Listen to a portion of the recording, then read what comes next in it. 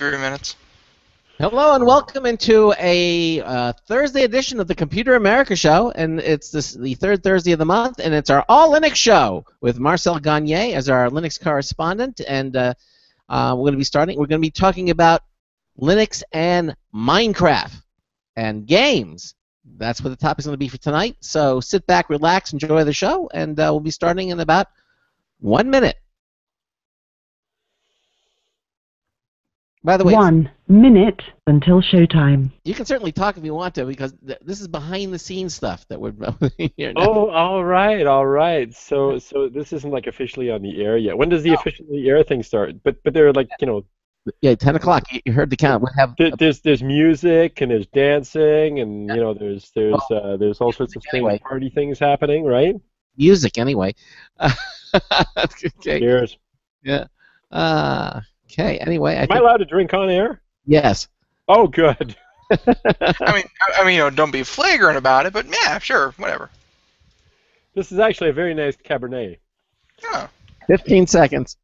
Oh, You can talk, just oh, don't talk. okay.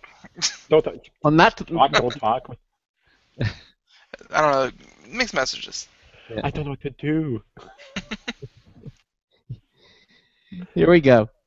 Your show will go live in five seconds. Four, three, two, one.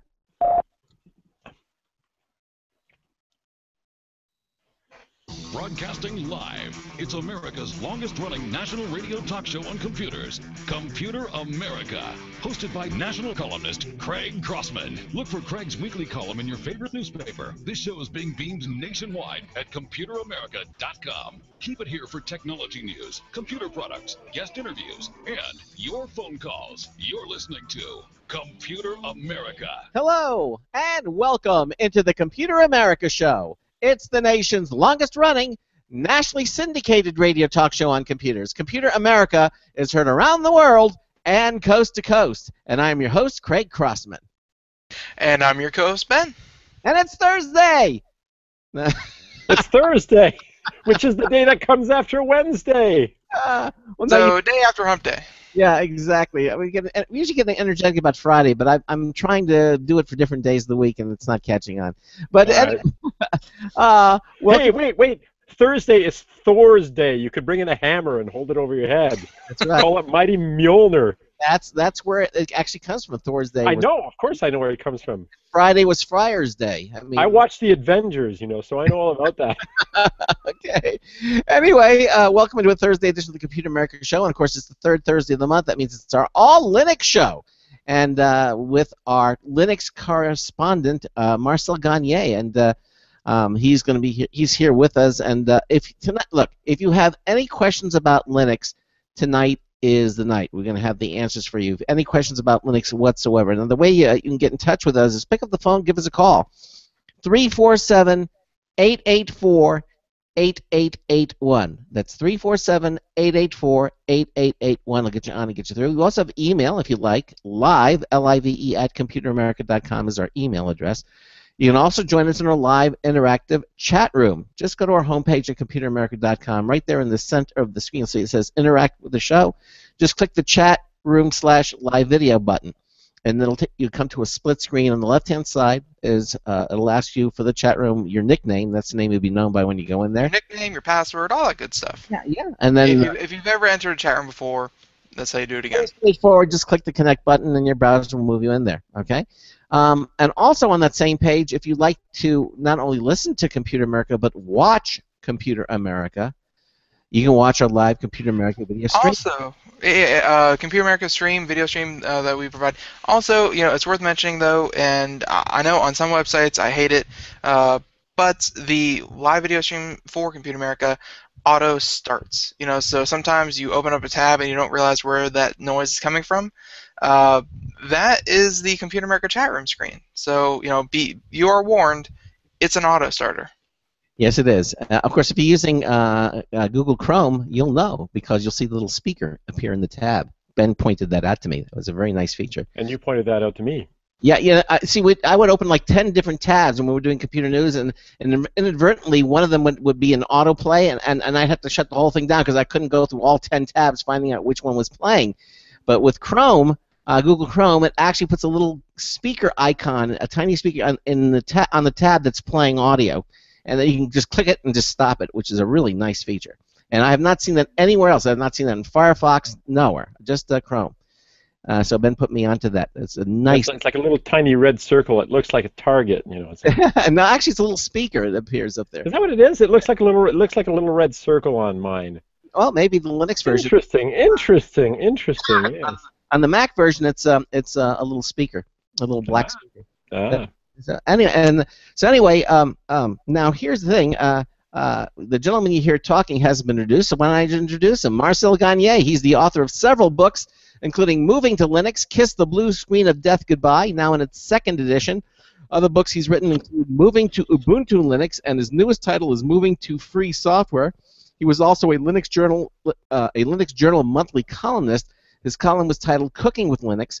Marcel was also a regular columnist for Linux Magazine, and he was the senior editor and columnist for Ubuntu Magazine and a number of other publications. Uh, please welcome author and correspondent, and now Computer America correspondent, Marcel Gagne, to the show. Marcel, hi, how are you? I'm good. How are you doing? Nice to see you. Yeah, Kind of nice to see you. I mean, I remember once upon a time back a million years ago when we first did this show, and I just heard you. You were just like this voice, this disembodied voice on the other side of the world or something, you know. Oh, you we are. You, you had to take it on faith that Craig actually had a rest of a form.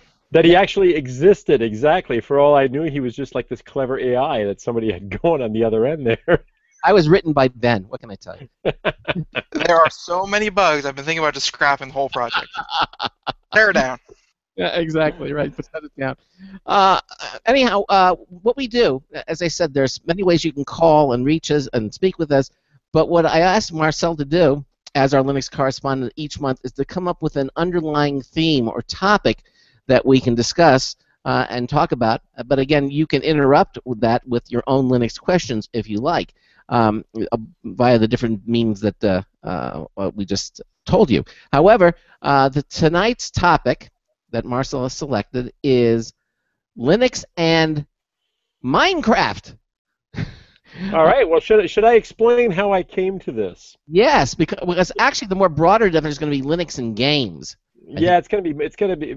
See, here's what happened. Like, um, I I have I have two sons. Uh, the youngest uh, happens to be uh, seven years old, and um, and of course, you know, they've both had tablets, and the, oldest is ten years old. They've both had like Android tablets in their hands for a couple of years now, at least, um, and uh, probably longer than that actually. But anyway, um, so last year, last year, my uh, seven-year-old, who was six years old at the time, was into um, was into trashies. Remember the trash pack little guys? You remember trashies? Uh, I think so. They, They're like they're, like these little rubber guys who were like you know your your your little friends who live in the trash can, you know. So you had like different types of bugs, rotting rotting food, and all sorts of things like that. An old slice of pizza, a, a rotten banana, you know, that had turned gooey, and like it was just like wonderful. So you know, I got about a hundred of these things, and I thought, you know, he's never going to get over this. This is like you know, this is. Of course, I've forgotten what happens when you're six years old, or you're five years old, or seven years old. Uh-huh. So eventually, of course, he got over it, and then this thing caught his attention. It was this game that he started playing on his tablet called Minecraft. Now, of course, you're gonna so, somewhere along the way here, I'm gonna have to tie that into Linux because you're gonna go, dude, Minecraft just got bought by Microsoft. Are you out of your freaking mind? You know, but but I'm not totally out of my mind, and I'll explain shortly. We'll get there. But anyway, so he had the tablet, so he's playing on this. And I don't know if you know this, but if you play Minecraft on a tablet, whether it's an Android tablet or whether it's an Apple tablet or something like that, um, you can actually set it so that it's got like a little local server. So that essentially, if you both happen to be on the same Wi-Fi network, you can play with each other. Okay. So I actually started playing Minecraft with my, you know, seven-year-old. He just turned seven at the time. He turned seven in June. I started playing Minecraft with him because he'd have his tablet and I'd be playing on my tablet, and we'd create all these little worlds and so forth. So this is this is like great fun, and of course, you know, if you had like a whole pile of people in the same room on the same Wi-Fi network, you could all share one world off one tablet and play with each other. So this is all very cool, and um, and what I dis- what I started thinking at the time was, um, you know, he's going to get bored of this as well. But he wasn't. He didn't get bored of this because, of course, what happens? He goes to school and all the other kids at school are also playing the same game, right? So they're all going nuts on Minecraft. That's this is all they talk about. He comes home, he talks Minecraft, he talks Minecraft at the table, and and you know, goodness helps help me. I mean, all of a sudden, I'm totally into Minecraft. It's like, dude, I got to sit down and play my Minecraft game with my kids. So you know, I started doing that. So I've got you know my little my little Android tablet here, you know, and I got to start playing Minecraft with them. Do you know how to do this? Do you know how to share a game in Minecraft on a tablet? Do I need to tell you this, or do you know all that? Ben, I think knows how to do it. Uh, no, uh, you're you're running a server, uh, you know, from from whichever computer, right? Like you actually have a saved server, and then the, and, and then everyone connects to it. Yeah, but on the tablet, what you can do on the tablet, and of course I, I'm I'm gonna, you know, no, nobody's actually gonna be able to do this, you know, when they're sitting on the other side there, but um, you've got a local server multiplayer here. The people that are actually watching on Google Hangouts can take a look at my tablet, and it says Google, it says um, local server multiplayer. And what that means is if you've got the tablet that's got this on and you're the one that started the world, everybody else who's playing with you is going to be able to see that world and connect to your tablet. Okay? So all of a sudden you sit there and you start up a world and you come up with a cool seeds because there's a website out there, by the way, if you're a Minecraft nut and you happen to be playing on a tablet epicminecraftpeseeds.com. PE stands for either personal edition or pocket edition. I don't know. If there's somebody out there who knows, please write it in the chat room or call it in and say, dude, it's pocket edition or personal edition. Doesn't matter. It's Minecraft PE anyway. So Epic Minecraft PE seeds. So all of a sudden you've got these great worlds that you can start up and you can play games together, uh, you know, on Minecraft. But then all of a sudden it was like, wouldn't it be cool if I could get all his friends at school to play with him as well? Yeah. Okay. So all of a sudden now it becomes this thing where, you know, I can't get everybody to connect the tablet. You sort of could, but then the tablet has to stay online all the time, which is, you know, kind of difficult to do. And then you have to pass it through your router. Now I've got a nice router. I've got a Netgear uh, Nighthawk router there. Oh, those are nice. That that is Isn't that awesome? Isn't it gorgeous? It's like a stealth fighter. it does. It looks great, and it's got like three antennas, and it's super sleek. And you swear that the damn thing is gonna. Can I say "damn" on the radio? you, you just did. Oh. the dang thing. I said dang. Actually, I said D-A-N-G. oh, okay. You swear that the dang thing is gonna take off at supersonic speed in your room. It's awesome. It's gorgeous. It's beautiful. But I digress. Mhm. Anyway, so you could do that. So you could pass the port on the tablet, but then you're no longer, you know, on the same Wi-Fi network. It, you know, the, there are issues associated with that. Anyway, so I started looking up, and I actually found that there's a project out on the internet called Pocket Mine. Okay. Mhm. And Pocket Mine is pocketmine.net. It's really, really simple. P O C K E T M I N E dot net for the people out there who are doing that sort of stuff. And Pocket Mine um, lets you deploy a server on a variety of platforms. Now, you can do it, believe it or not, on Windows, on a Mac. But if you really want to do it, if you really want to do it special, you deploy it on a Linux box. Okay? And on a Linux box, um, if, I mean, it, it just works better. Um, I run an, an Ubuntu uh, Linux server, 1404, and um, and we deploy the server on there. This is an open source project, okay, which means if you want, you can contribute to it and so forth. There are a whole bunch of different plugins that extend the functionality of the server, so you can do all sorts of fun and cool and funky things. And, and I'll get into what some of those things are uh, in a little while there. Uh, but most of all, most importantly, if you've got a server that's you know available to other people on the internet, you can all play together. Is that cool? That is very cool. That is very cool. And you know I, I've heard some uh, some really nice instances of this, and I'm sure you know uh, if you don't have some examples, there are lots of them. And real quick, my favorite one was I think it was the country of either Sweden or Norway. One one of those countries over there actually, you know, like their their Department of Tourism or something like that, made a one-to-one scale ratio of the country, and people were able to connect to it, and they, you know, they were able to just run wild in this world that they created from all over the world. And you know, people were building forts and you know, claiming it for France. They were you know trying to take like the, uh, some Americans tried to take over a, a portion of the country. Like it, it just it's not just in your neighborhood or you know you know like you were mentioning your kids and your friends' kids. You can open it up to everyone everywhere and have people invade you. And and that's the beauty, and I, I apologize for that. I was actually trying to I was trying to grab the bookmark for a YouTube video, and the darn thing started playing. I didn't want to do that, so I apologize. I apologize profusely. I will I will fall on my on my sword. Here, I Uh. have a little. I have a little. Uh, I have a little uh, fighter plane here, and uh, see, I have a little fighter plane. I will fall on my fighter plane. Okay. That won't do Um, damage.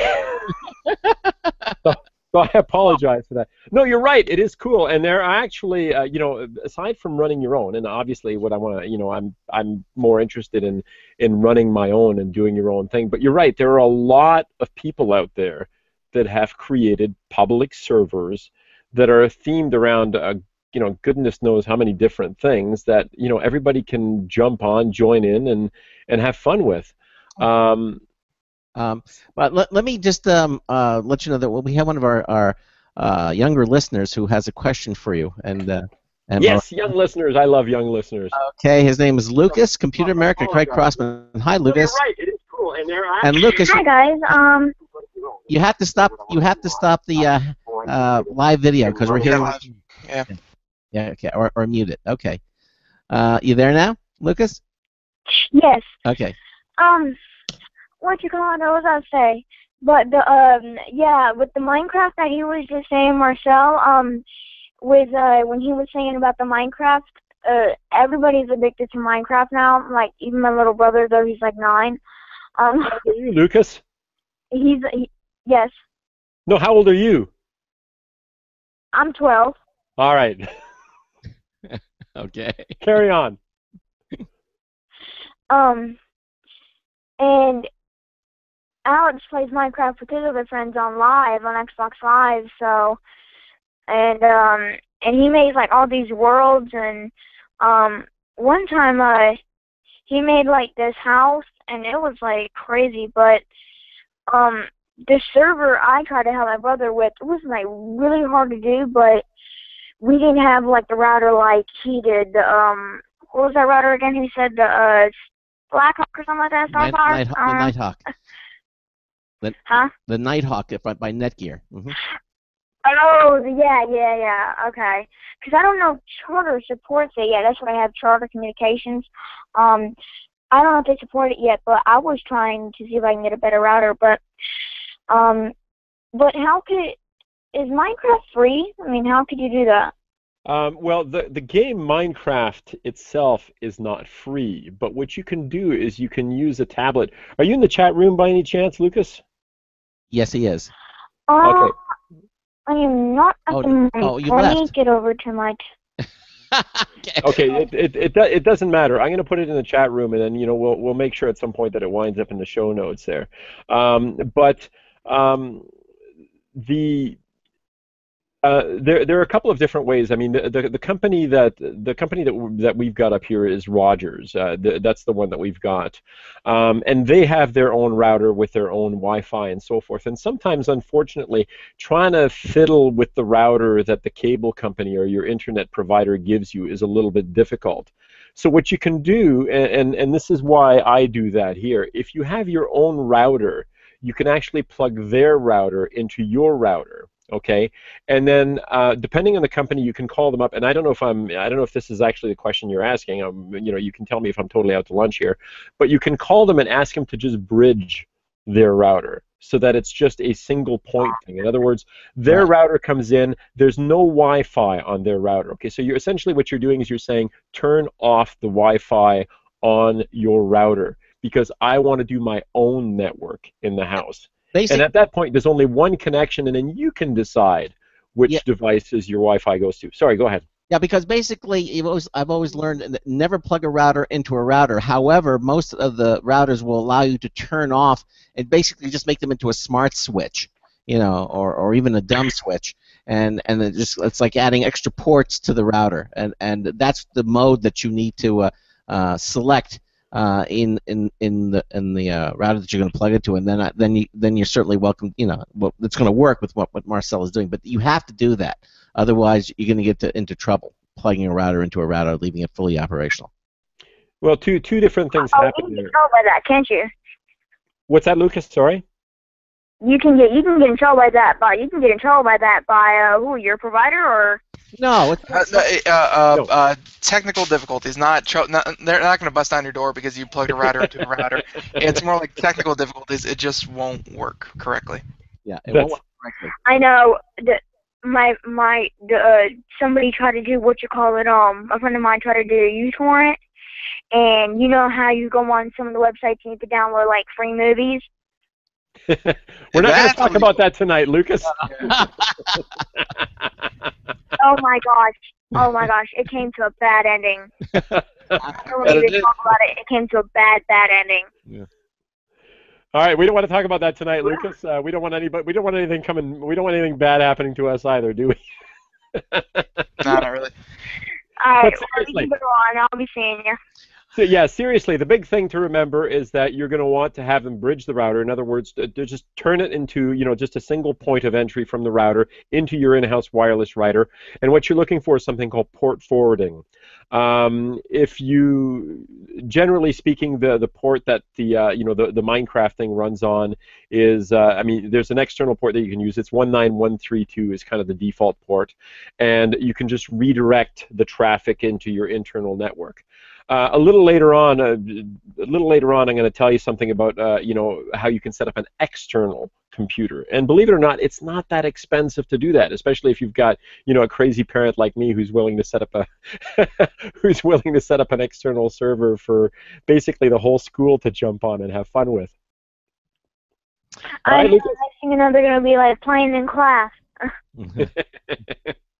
That's their problem. All right, Lucas. All right. well, yeah Thanks Well- for calling, Lucas. I Alright, you appreciate have a it. good night yeah, and you have a good night too, and you keep listening, and we'll see you in the chat room, okay?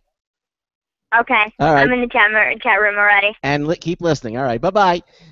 alright bye bye All right. Uh, again, the number uh, three uh, is three four seven eight eight four eight eight eight one opens up a line to get John to get you through. If you have any questions about Linux, uh, uh, Marcel Gagne is here. We're talking about gaming on using Linux, and uh, specific, specifically, we started off with Minecraft.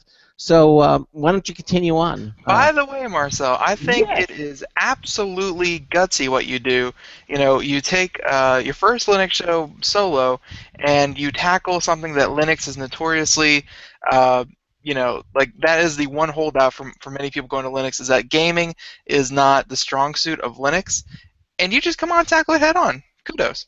Oh well, thank you, but but I would turn that around and tell you that since Linux runs the infrastructure of the freaking internet, the global interconnected network that ties us all together, that most of the game consoles in the world are running Linux, that most of the hardware out there that pushes that pushes uh, that pushes you know networked online gaming and so forth, supercomputers that have all these these distributed network uh, you know uh, role playing games and so forth are all built on Linux infrastructure. I would argue hmm. that it is Linux that is at the head of gaming as opposed to anything else. Everything else is just a client. Linux runs the freaking show, baby. I have no doubt that the workhorse, the, the, the beast of burden, is Linux. But the stallion, the Mustang, the beautiful, sleek racing horse is, un, uh, un, you know, unfortunately, because that's what most people have, is a Windows. So you know, you Windows gets it first. Well, I, you know, even even there, that's sort of fading, as you know, because uh, you know, and and Oh, yeah. you know, I, we're digressing here, but but the fact is, I mean, nowadays, you know, you're talking, you know, your your your bleeding edge Xbox, you know, or or um, or PS3, PS4, or something like that.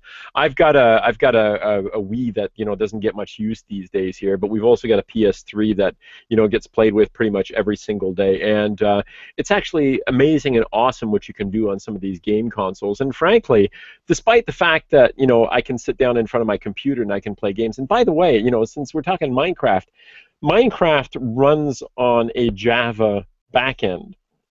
I'm talking about the official Minecraft for PC Hmm. here.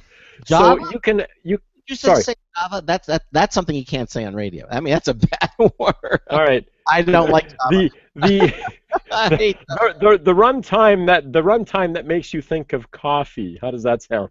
Uh, the runtime that makes you think of coffee is is actually the the uh, the runtime that Minecraft, like that you can go over to Mojang and download, which by the way is like 24, 25 or 30 dollars or something like that.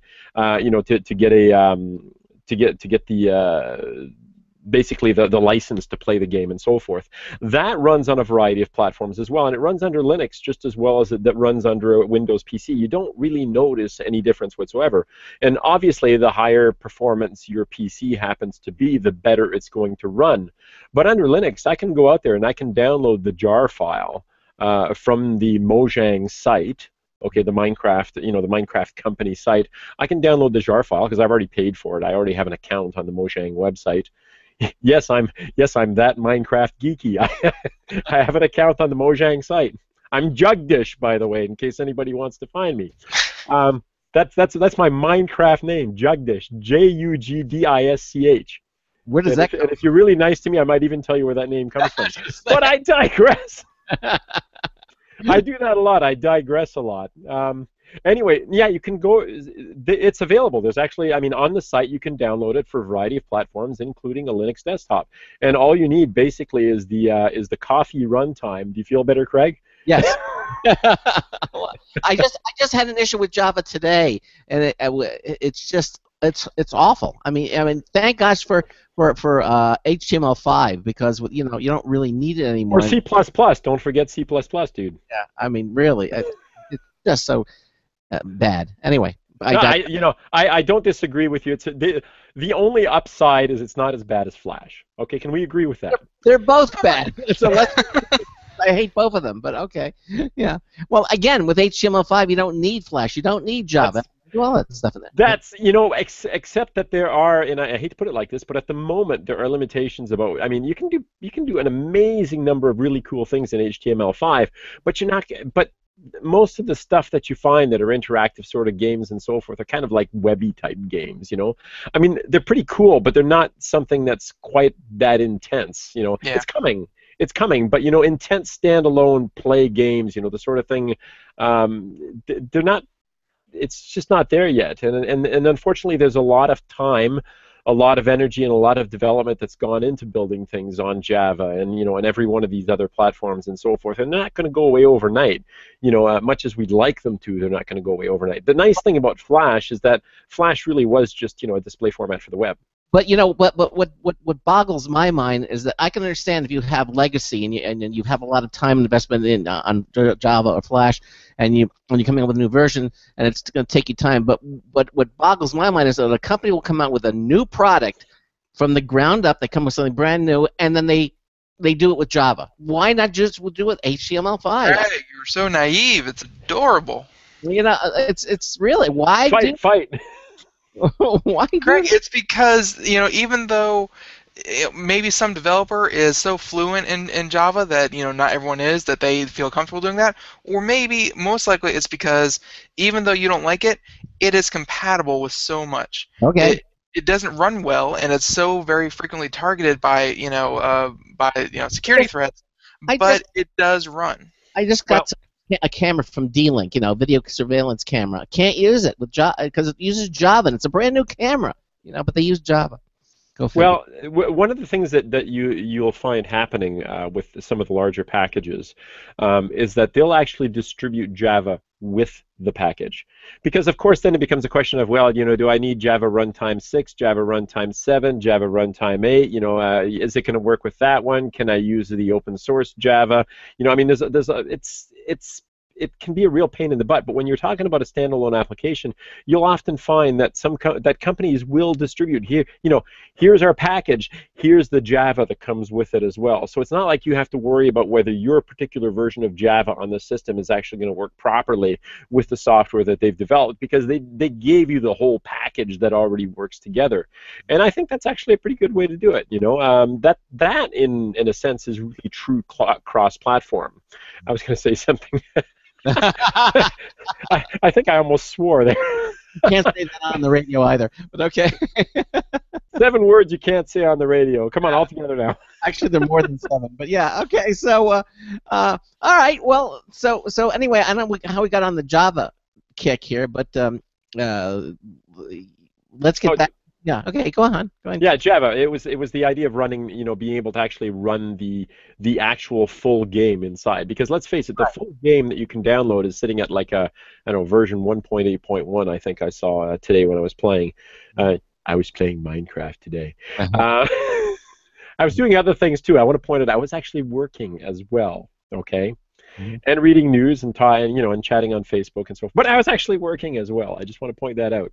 Anyway, um, the version that's actually developed for the PC, okay, that Java version that we don't like, um, is actually more up to date than some of the other stuff. That's that's where a lot of the development happens to be going. And if you take a look at the stuff that's on the tablet, as much fun as a tablet is, and it's come a long way in the last year, by the way, I should point out, like the Android version has come a long, long way. It's still not where the uh, the PC version happens to be in terms of development. So if you're like a serious gamer, whether you're running on a Linux box, you know, and, and by the way, you know, no, I'm not going to jump into that right now, Ben. I don't I don't want to get pulled in that direction right now. but but um, the, the version that's actually going to run directly on your desktop as opposed to on the tablet is going to be far more advanced. It's going to have all sorts of cool things. It'll have like you know the beacons, you know, so you can build a beacon and and you know be able to spot it from anywhere in the world that you're living in, you know, that you're building in and so forth, um, as opposed to just building a tall tower and sticking a, uh, a torch on top of it or something like that. Um, that's what you're going to want to do, and so you're going to have to put up with Java, you know. Yeah. Well, uh, listen, we're at the uh, bottom of the hour. Time is really flying by here, but uh, uh, we're on our All Linux show. Marcel Gagne is uh, here with us tonight. We're talking about Linux and Minecraft and gaming. Uh, we got calls coming in. You listen to the Computer America show on the Blog Talk Radio Network, the Boost Radio Network, the IRN Radio Network. We got a news tips bulletin review coming up. Stay with us. We'll be right back. Hey everyone, have you heard about the No No hair removal device that's sweeping the globe? If you want to go weeks without shaving and get smooth, professional quality results, here's our favorite host Cheryl for No No hair removal. Thanks. Hey, gals, I love talking about my no no. It's this cute little hair removal system that you can take with you and use almost anywhere at home or on the road. No more expensive in office treatments, painful waxing, and no more wasting your valuable time. Got unwanted facial hair? No No has patented Thermicon technology that works on all hair and skin colors, so it's perfect for using on all body parts. And now you can take advantage of this incredible risk-free trial. Get the No No, the facial kit, a travel case, and a $100 discount shopping card, and you don't risk a penny to try it. Try the incredible No No hair completely risk-free. Call 1-800-953-5415. That's 800-953-5415. 800-953-5415. Hi, this is Craig Crossman, host of the Computer America Show. You have important meetings to schedule. Your company's getting ready for its IPO, and you're in charge of the PTA fundraiser this month. So, how do you coordinate everyone to be available at the same time? Are you still using emails, phone calls, even text messages to schedule meetings with a group of people? How's that working out for you? Not so great, huh?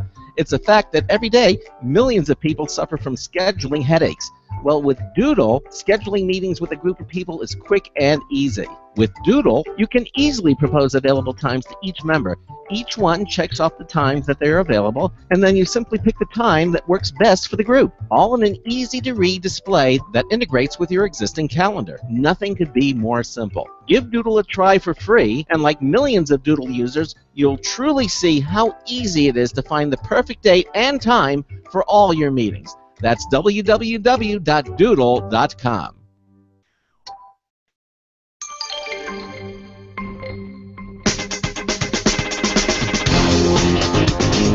Here we go again. It's Marty Winston with a news tips bulletin review for Computer America. This time, the ScanSnap iX100 mobile scanner.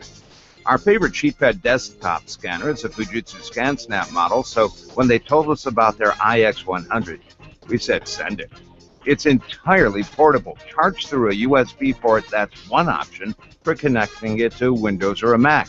The other is Wi Fi, which gets even more interesting when you team it up with one of its apps for Android or iOS. It's a little smaller than, think rectangular solid, one and a half inches by two inches, kind of squarish, by 11 inches, less than a foot long, and it unfolds the cover to become its paper pad.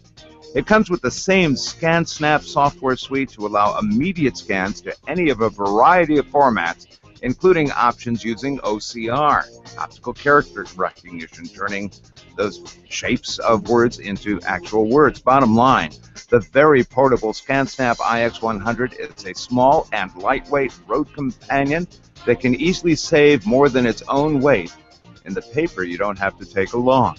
This is Marty Winston with a News Tips Bulletin Review for Computer America.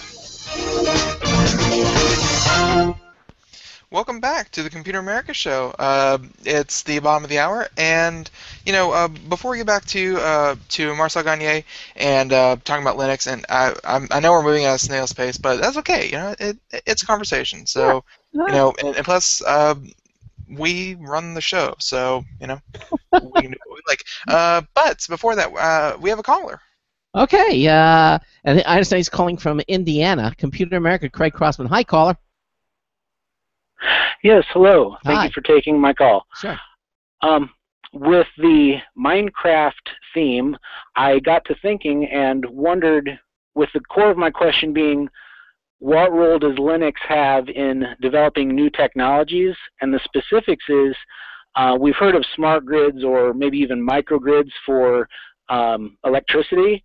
Well, I'd like to gamify a user interface and reward um, the usage of that interface so we get the most out of our energy at the community or city level. And um, I think Linux could play a role there, but th- of course, there could be money incentives for the players also. So, uh, just if you'd like to reflect on that core question of Linux and technology development or uh, how it might fit for my example, that's uh, the crux of my question.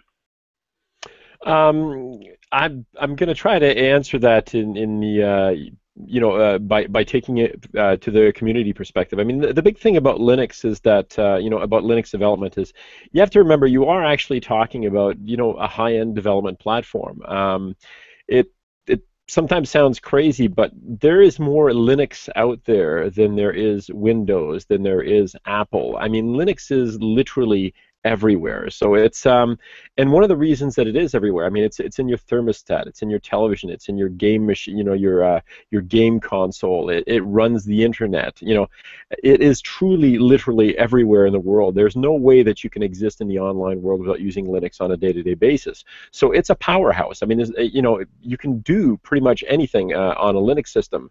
Uh, where it does shine, though, you know, is on the server back end. So if you're looking for some kind of an application in which the community can participate, then the kind of development that you might be looking at is something, you know, that that runs on a console back end. And obviously, I, I don't know the, you know, the depth or, you know, or the uh, the final intent to what you're trying to do, but I mean, it could be something as you know, it could be something that's uh, that's Android based, so that basically, you know, uh, people are able to to take advantage of uh, you know the the game development that you're doing and use it um, um, on an Android application that then feeds back into your server application and so forth.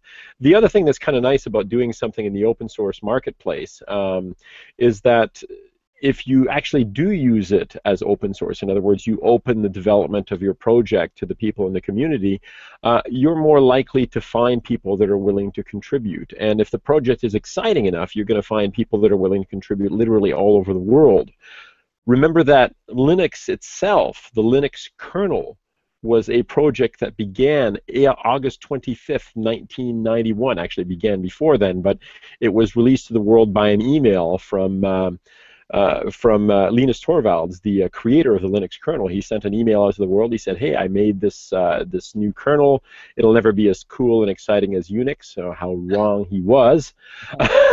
you know, but here it is. It's you know I, I think it's really cool, and uh, you know this is what I've done so far. And he invited other people to join in and help in the development. That's the beauty and power of an open source development project if it's a good project, if it's something that is of value to the community, and you are willing to open it up to the community, other people will join in in the development, and the real power then actually starts to happen because you don't just have one person working on the project. Essentially, what you're doing is you're, you know, and if you want to use it in terms of a company, okay, you're essentially bringing in a whole bunch of employees, except they're not employees, they're partners in the development of your project, and that can be really, really exciting because you can build something big and exciting and fascinating and get input from a whole lot of people just by virtue of the fact that it is open, you know, and it's built on a platform that people don't actually have to pay for.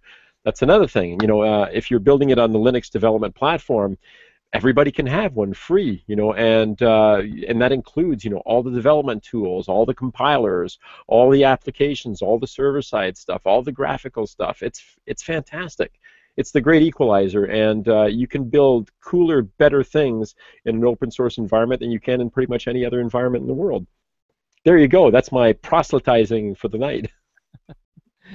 okay. Great. Thank you so much. All right, Carl. You're listen. welcome. Yeah, and thanks for calling and uh, keep listening. Uh, Yeah, and- o- open it up. Open it up. I mean, that's really what it comes down to. If it's a great project and you open it up and, and you show people what you've done and you say, hey, this is what I've done, this is what I've started, come on in and help me, um, you can build a beautiful thing. All right, there you go. And thanks for calling the show and keep listening. Uh, the the uh, 347 884 8881 347 884 8881 will get you on to get you through. Marcel Gagne uh, is here. And uh, as I say, we, By the way, real quick, you know, uh, I up front, I do not use Linux. I'm a fan, but I do not use. Actually, no, I- technically I'm human, not a fan, but uh, you get whatever. Anyways, um, to his you know, uh, he he mentioned something there that um you you may have glossed over, or you know, but I just think is you know something that Minecraft can do very very well since it is kind of you know back on kind of on target, is that uh, gamifying things. I mean, even though Minecraft is just a game, you know, you, you play with your son, your son plays it with, with all his friends. It's obviously enjoyable from a very young age. But I mean, even then, uh, you know, there are people in Minecraft that have created computers. I mean, you know, even though it's run on a computer, they have created instances of computer uh, of computing inside of Minecraft. And you know, something that, that the call was talking about was gamifying, you know, a system where you know, think of ho- home automation. Imagine, you know, putting it in a putting your house in a game-like scenario, and then you could, you know, essentially take your avatar, walk up, and you could, you know, interact with your toaster, with your oven, with, you know, with eh, with you know, with your light switches, all from your avatar within a game, gamifying something that would, you know, otherwise be tedious or confusing or just any other interface would be difficult. Games are easy, and people like games. So if you can gamify something, it's going to make it that much more attractive. Well, gamification. I mean, when people talk about gamification, they, they they're usually talking about something that goes well beyond just you know the idea of playing a game. They're talking about, excuse me, building in a reward system for what's happening as well. I mean, there's like there there are countless articles and books and psychological papers are written on this, um, where you you know what you do is you start out really really simple. It's like you know you open it up and you say, oh look, you know I've given you this much here, you know, and so forth. It's like, oh congratulations, you were able to solve this incredibly easy puzzle, you know, which anybody could actually solve, but you solved it, and here's you know here's your first thing. I mean, I'll give you the example in Minecraft, for instance. What's the first thing that happens? You know, you join the game, you go out there, you find a tree, you knock three blocks of wood from the tree. So you sit there and you mine three pieces of the tree because you need wood as the building blocks of everything else you're going to do in the game. And what's the first thing it does? Your first achievement, getting wood. It's like that's your first achievement. Congratulations, you were able to get wood. It's like, oh wow, is that ever cool?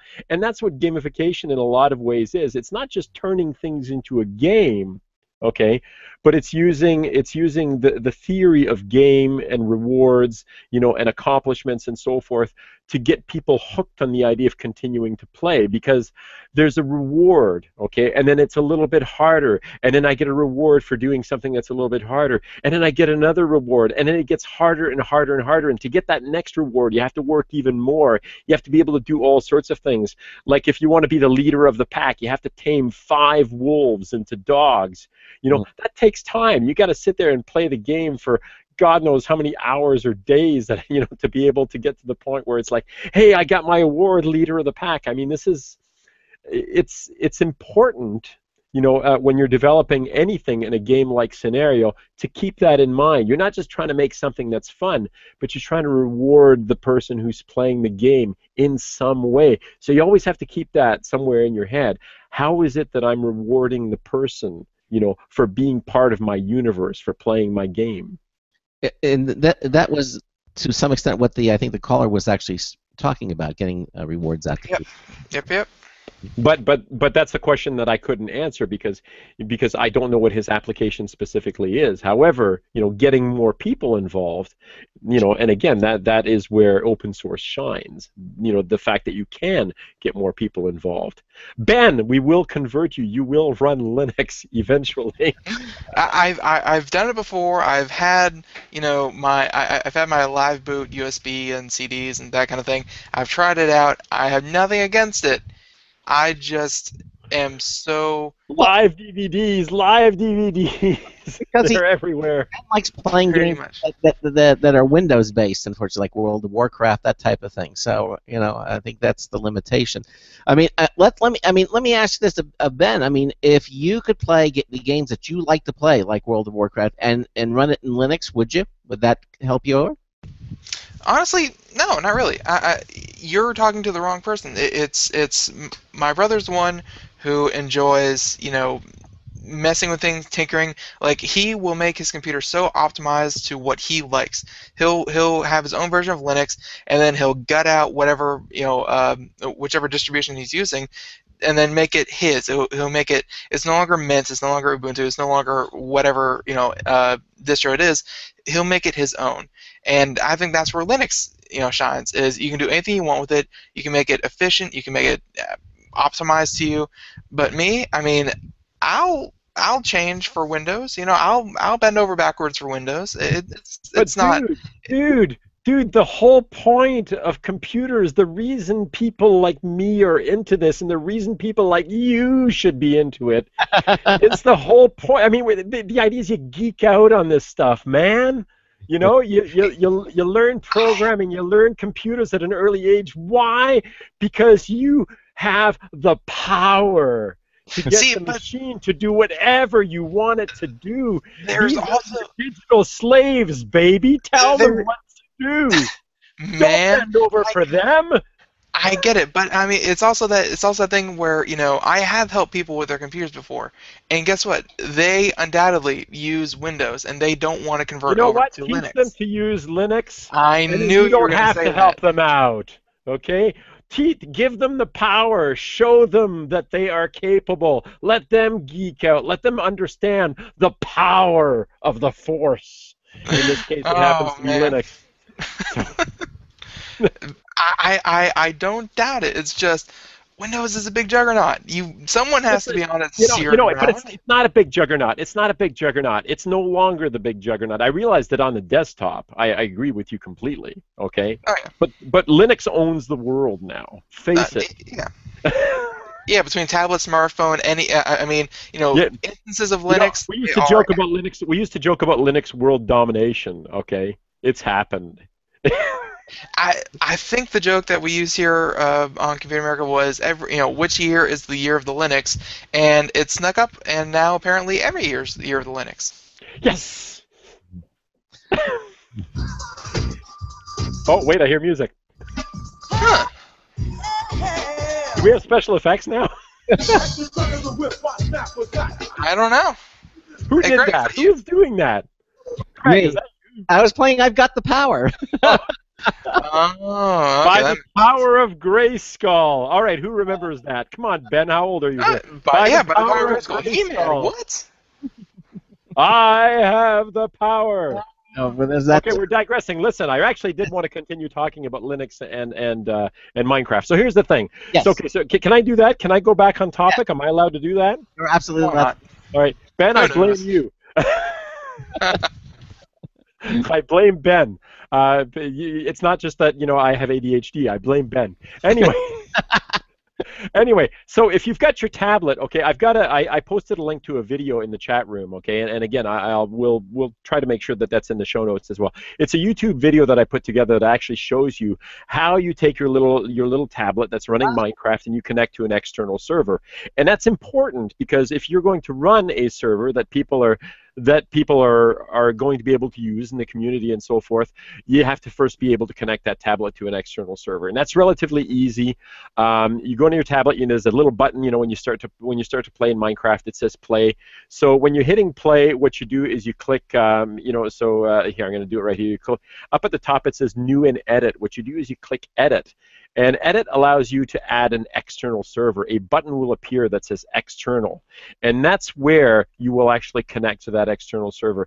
Now, there are actually a lot of servers. I'll tell you that right now. There are a lot of servers, and, and Ben actually mentioned this earlier on uh, with, what was it, Sweden? Is that what you Mhm. said? Yeah. Okay, there are a lot of external servers uh, like Lifeboat and stuff like that where you can actually connect to them. Uh, somebody from Lifeboat, uh, you know, who's online there, it's like, oh, I mentioned Lifeboat, awesome, man. Um, you know, uh, where they where they run Hunger Games, you know, or Sky Wars or something like that. Um, you are actually able to connect, and uh, they do have uh, a lot of these servers have plans where you spend a little money on a monthly basis, you know, to get VIP status and you know extra things and so forth. But the fact of the matter is, anybody can join these servers and play for free. You know, or a lot of these servers anyway, you can join them and play for free. So you don't have to create your own. Um, but to be able to connect externally, uh, if you follow the little video that I showed, or if you just you know click the external button and then you put in the address of the server that you want to connect to, you can actually play externally. The beauty of running your own, and the reason that you know we'll get into that next, is that you can control what happens on the server to a large degree. The one that I run, I only give the address out to my kid and the friend and his friends in his class. Okay, I have absolute power over that server. If somebody comes in, if, if you know what a griefer is, No, what is a grief? I saw that in the write, write up. What is a grief? aha, a griefer, okay, is someone who causes you grief. That's in the Minecraft world, Really let's say that you spent days. Ben, you want to explain what a griefer is? Griefer is some is think of a troll, but a troll you know can say things, can you know uh, kind of be leading. A griefer is someone who takes it to the next level. They will get in your game, they will put TNT everywhere, and they will blow up anything you have tried to make. They will make your game unplayable. Exactly, and you can, and some of the things that people have done, like my my son's class has built, like they've got um, a dozen worlds at least, like you can warp between worlds and so forth when you run your own server. They've built at least a dozen worlds, and there are complex structures. They have a hotel. I swear, they have a five-story hotel that is built out of gold blocks with rooms. There are signs beside rooms inside this multi-story hotel with the names of the people of the kids in the class. They have their own freaking rooms with their own cabinets and their own stuff that they store inside.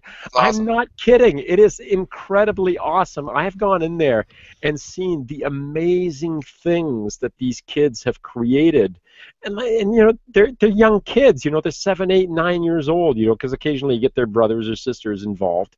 But but they're young kids, and they have built this awesome, awesome, amazing place. now, unfortunately, there has been occasionally a kid who's joined in from the school who was a griefer who wanted to essentially cause grief. That's what griefer is. It's somebody who's causing you grief. Okay, and what they've done is they've gone and they've put lava blocks over top of all of these buildings. So the Oh, next day when the kids log yeah, so the next day when the kids log in, they suddenly find that all the buildings are covered in lava, you know, and the game is completely unplayable. So what happens? My son comes to me and says, "Dad, they've destroyed all our buildings." But because Dad built the server and Dad makes nightly backups of the server, Dad simply restores the worlds back to the state Ah. that they were in the day That before, finds the guy who logged in and put all the blocks in, and permanently ban his IP address so he can't come back in. I have no mercy. Dad is the Dad is now the hero. Dad is now the hero. You know, to, the, so that's it's But, great. but you got to do that. You can't let you can't let these people get away with it, you know, because the next day they're the next day they're gonna you know, the next day they're going to do something worse, and then you know, ten years from now, uh, they're well, I, you know, we won't get into inter- international terrorism on this show, but By the way, I took your link that you put in the uh, in the uh, chat room and I put it to the show notes. So now if you go oh, to thank you, notes, it's the link is right there that you can. Craig. You're awesome. Thank you. Okay, there it is. All right. anyway, so. Uh, but you you might as well put the link for pocketmine.net as well because we'll talk about that in a second. Well, put, Uh, the- put in the good chat room. and Put, it, put the put the ch- chat room and then I'll I'll transfer it to the show notes. Okay. All right, awesome. Um, anyway, so so um, pocket mine here. I can talk and type at the same time, right? Um, there we go. I've done it. I've done it. So, so you, redeem, you redeem the entire server by something that we say all the time: back up your computers, back up your Minecraft servers. yes. That's not a link though. Pocket Mine is a dot pocket. Yeah. H, H, HTTP colon slash slash pocketmine.net. Okay, I got it. All right. All right. Uh, continue on. Anyway, um, right. So so when you actually run your own server that way, not only can you do backups and so forth, but of course you you have the power to control what happens in there. And of course, you know, I, like I said, my son is seven years old. I also want to be able to provide a safe environment for him and his classmates to play. All right.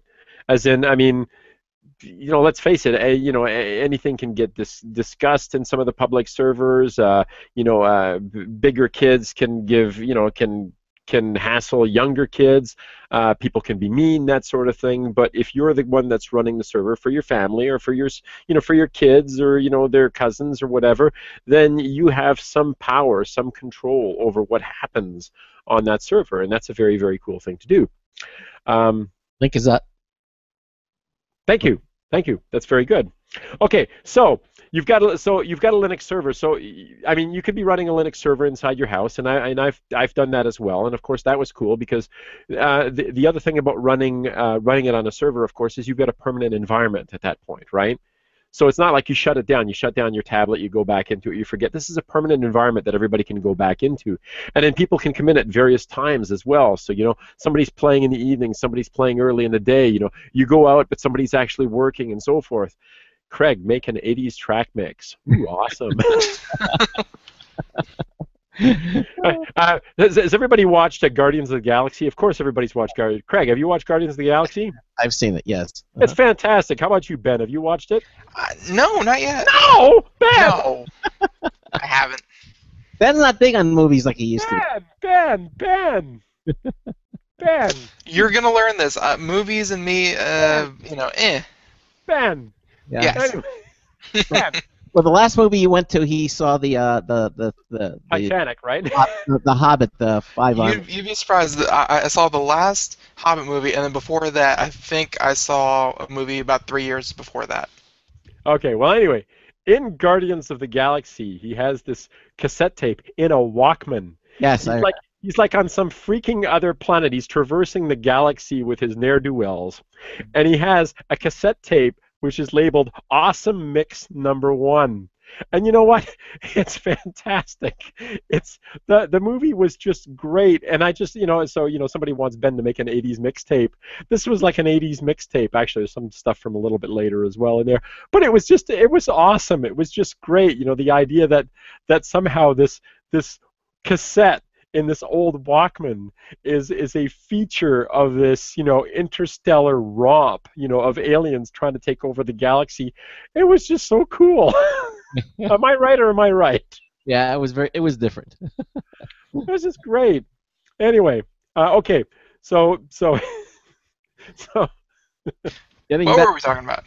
get, get, get it together, Marcel. Okay, so you go to the Pocket Mine site, and you'll see that there are links there for downloading it. Okay, for, for Linux, for Mac, and so forth. Uh-huh. Um, really, if you click on the if you click on the uh, link for whether it's Linux or whatever, you'll find that there's like a, a little line that you can make. It's a wget line, which passes to a Bash script, and all of a sudden, uh, what you're doing is you're installing all the code. It's downloading the code. It's installing it. You don't even have to. You don't have to compile this thing. You don't have to do anything uh, magical or bizarre. Um, then you have a question and answer session, and magically, after a few seconds, you've got a server that's up and running. Now, you don't have any of these cool uh, plugins that I'm talking about and so forth, but it's really, really that easy. Now, if you don't have a server that's running at home and you want to do this for your family, and by the way, this is a really good way to actually, you know, learn something about Linux. You can, if you want, very inexpensively rent a Linux platform, a Linux server out on the internet without spending a humongous amount of money. Um, I happen to like. I mean, is a, am I allowed to mention companies here, Craig? You know. Yes, of course. Yes. Okay, thank you, thank you, thank you.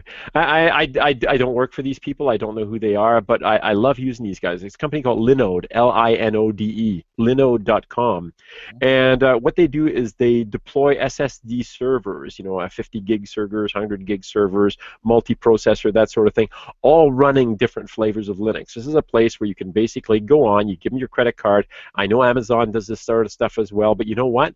Um, it's frankly Linode is very inexpensive. Uh, it's great support. They have like this wonderful interface uh, where you can create and deploy servers and so forth. So you can go out there and you can spend uh, I think it's like 10 bucks a month or something like that. 10 bucks a month will get you a fairly substantial little Linux server. You, you specify the distribution that you want, make it simple on yourself, get Ubuntu 14.04, and uh, and you know literally like five minutes later, you've got a fully, you know, a, a fully functional running Ubuntu Linux server that you can access over on the internet. And this is the key here. Remember Lucas earlier who was talking about how he gets people to come in and use uh, his tablet in house and so forth? Uh-huh. Then you don't have to worry about that because yeah. it's a it's a it's a it's a server that's routable on the internet. Anybody anywhere in the world can access this thing. Now, this is what I do for my son and his family. I'm running a Linode server that everybody connects to externally over the internet, and I don't have to worry about you know uh, whether there's you know the traffic is in my house or anything like that. It's out there. It's always available, 24/7, um, and you don't spend a lot of money at it. I mean, yes, you know you're spending 10 bucks a month, but hey, you know it depends on whether you think that's you know uh, within your price range. And personally, um, we're living in a subscription society. You know, you subscribe to services, including right computing services, and uh, this is an easy way to do it. Linode.com. Let me put that in the uh, in the chat room here. Yeah, put that in the chat room, then I'll put that in the show notes, and I'm going to continue to add the links uh, as you put them in the uh, chat room. Listen, we're at the bottom, the uh, top of the hour here, and uh, so we're going to take a, a, quick break. and then come back with more. Marcel Gagne, our Linux correspondent, Linux expert, we're talking about Minecraft and games and running your own server and and and you know, being king of the uh, of the games in your own home and uh, having full control over it. This is the Computer America Show. We're gonna take a right quick break and be right back. Stay with us, just a few moments. Broadcasting live. It's the only national radio talk show on computers to air every weeknight. Computer America. Hosted by national columnist Craig Crossman. The first hour's behind us, but there's still more of tech news, tech talk, and your phone calls. We're being beamed nationwide at ComputerAmerica.com. You got computer problems? Bring them on. You're listening to Computer America. Computers run the world, and we run computers. Call us or send us an email to live at computeramerica.com. Hello, and welcome into hour two of the nation's longest running, nationally syndicated radio talk show on computers. This is the Computer America Show, and I'm your host, Craig Crossman. And I'm your co host, Ben.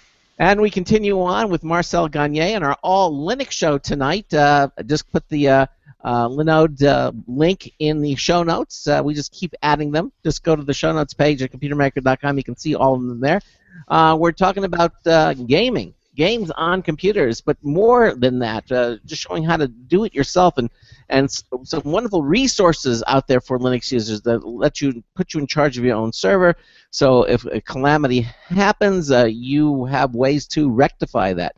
Um, and uh, and so uh, let's continue on with it. And by the way, if you have a comment or question for our uh, for us having anything to do with Linux, 347-884 8881 347 884 8881 will get you on and get you through. Uh, so continue on. Um, All right. Um, I'm going to just, uh, I'll talk Linode just for a second here. Um, now, Linode obviously is not the only you know a company. It just happens to be the one that you know I like to use. Uh, you can decide where you want your server deployed. Uh, they've got you know different places. Uh, what is it? Dallas, Texas, Fremont, California, Newark, New Jersey. Yes, there is such a place as Newark, New Jersey.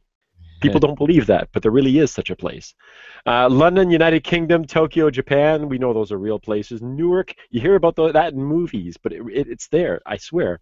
Anyway, um, but you can download. You can actually uh, select a server for ten dollars a month. And here's the cool thing.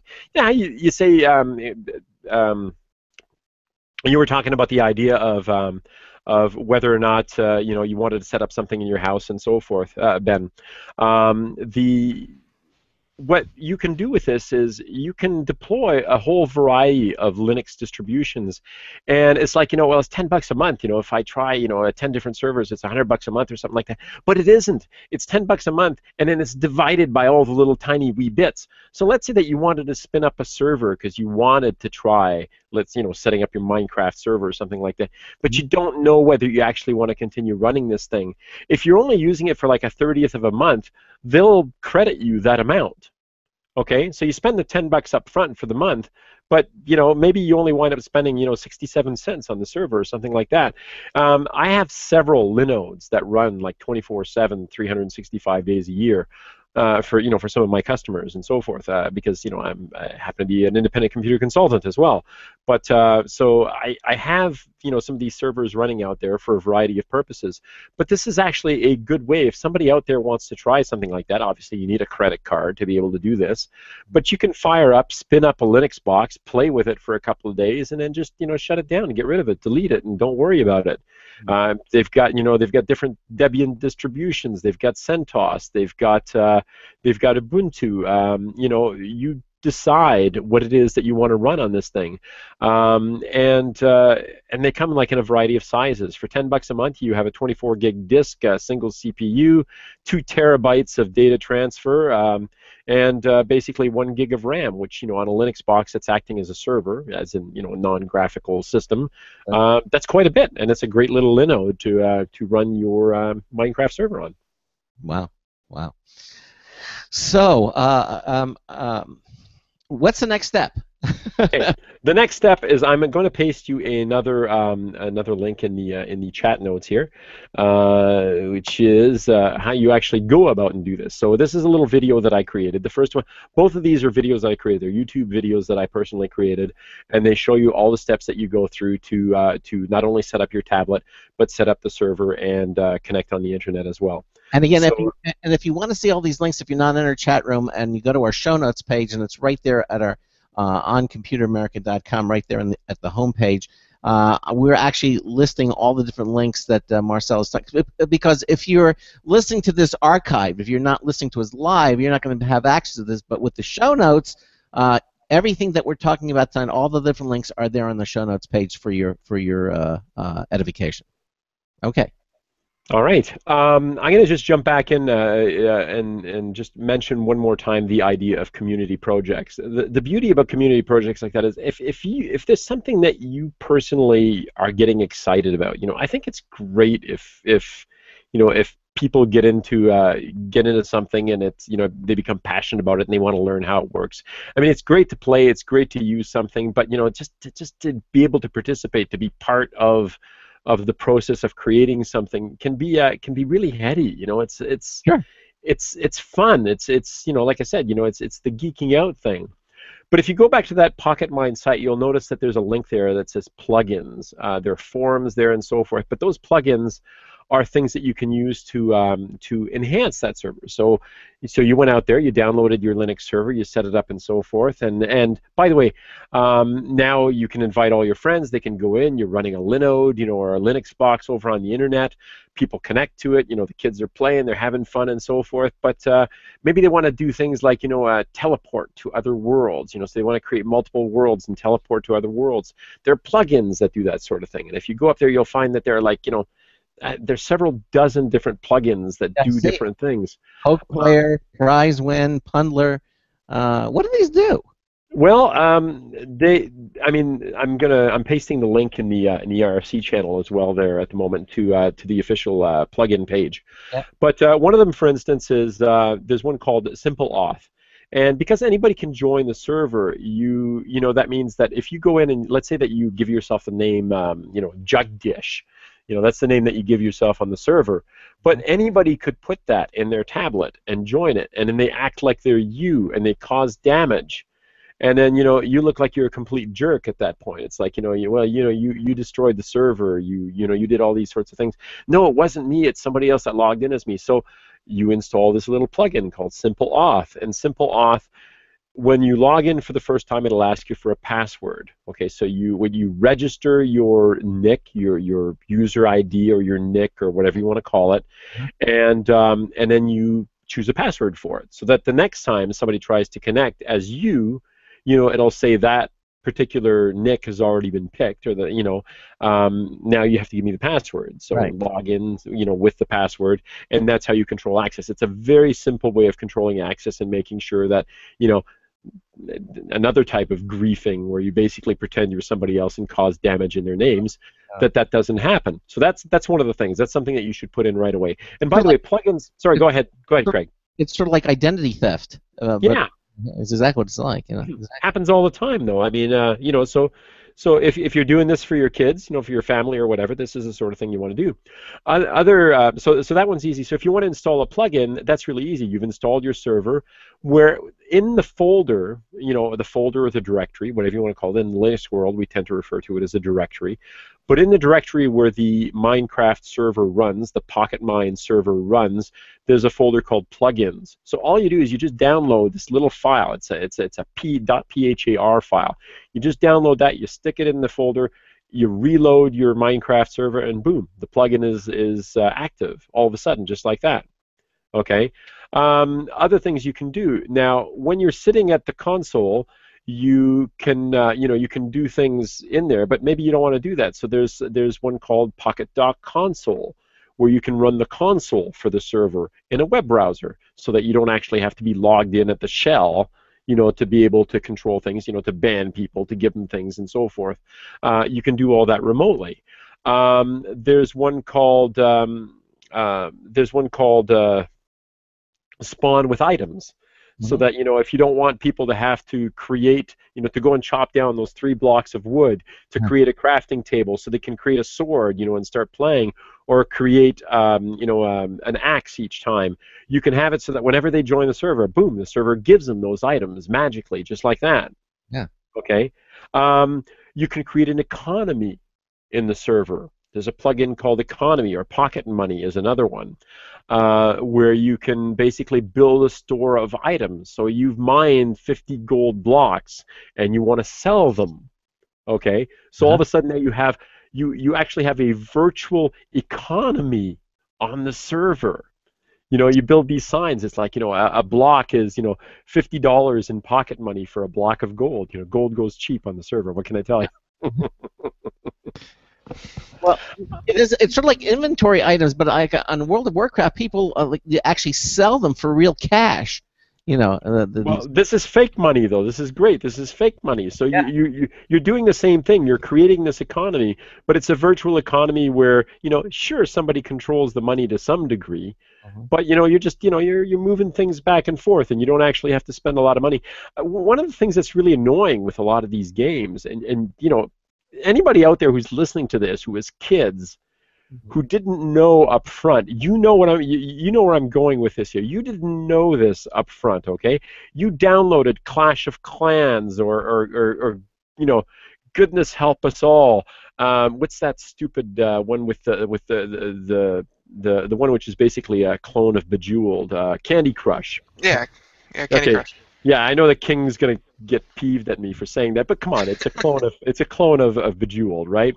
Um, so, so, but Candy Crush, it's like, oh, you know, you've played up to this level. Do you want to continue? Well, you can get additional, you know, gems or whatever it is, and you're the parent who didn't know that when they say yes, I want some additional ones, your credit card just got dinged for buying additional things. So at the end of the month, when you're looking at your bill, you're, you know, uh, yeah, exactly. You're sitting there thinking, okay, Marcel, Marcel speaks like he's he's been caught by this one. Yes. so you sit there and you go, dude, what are you doing? It's like you're spending real money. So at that point, you learn that you can go into, you know, you can go to the Google Play Store, adjust your settings, put a PIN number, you know, as a password, so that nobody can buy anything from the Play Store without going through you first. Parents, if you're listening to me out there and you don't already know this, go into the settings for the Play Store, Right. put a password, make sure your kids just can't buy additional stuff because you have no idea how fast that bill can increase. I can imagine. There, I, I, I mean, you know, we've done too many stories about people. It's like, oh yeah, no, I downloaded the Smurf game on my uh, on my phone, and then I look at my credit card or, or uh, I look at my bill, and someone just spent you know fifteen hundred dollars, you know, through iTunes. It, it's, I- mean, some games are insidious about it. They'll actually, you know, try to get you to, you know, just impulse buy it. Oh, of course. Mhm. It's it's scary, you know. I, I get it. I mean, on, on one hand, it's like I get it. You know, that's that's your that's your business model, you know. But but but it's kind of sneaky, you know. And and and a lot of times people just don't know that that's what's happening. You know. Um. You know, I, I've had people. It's like you know, you try to explain to them. You know, you're playing with real money, right? It's like. No, I'm not. I just, you know, I just say, you know, I want to refill my wallet. Yeah, you're refilling your wallet from your credit card. I No. hear I hear casinos do the same thing. They try to get you to you know separate playing and your actual physical money. So, I mean, it's not much different. Yeah, no, I know, I, and I, and I get it. You know, I I get it that it's, that it's a business model, but on on one hand, you got to ask yourself, just you know, you know, just how, you know, it, it, it, the word that's stuck in my brain is moral, but you know, ethical. You have to ask yourself how ethical this actually is. But anyway, uh, you know, so anyway, I we'll we'll we'll just you know, so so it's it's fake money, you know, so it's good. It's fake money in that respect, you know. It's a way to introduce them to things like Bitcoin, you know, in the real world, you know, virtual currency. Yeah. Well, I mean, that's kind of what you're doing if you set up something like Pocket Money or, or, or the virtual economy inside Minecraft. Is yeah, you're you know you're buying and selling product, but you're buying and selling product with a virtual currency that you make available to them. Right, exactly. Okay.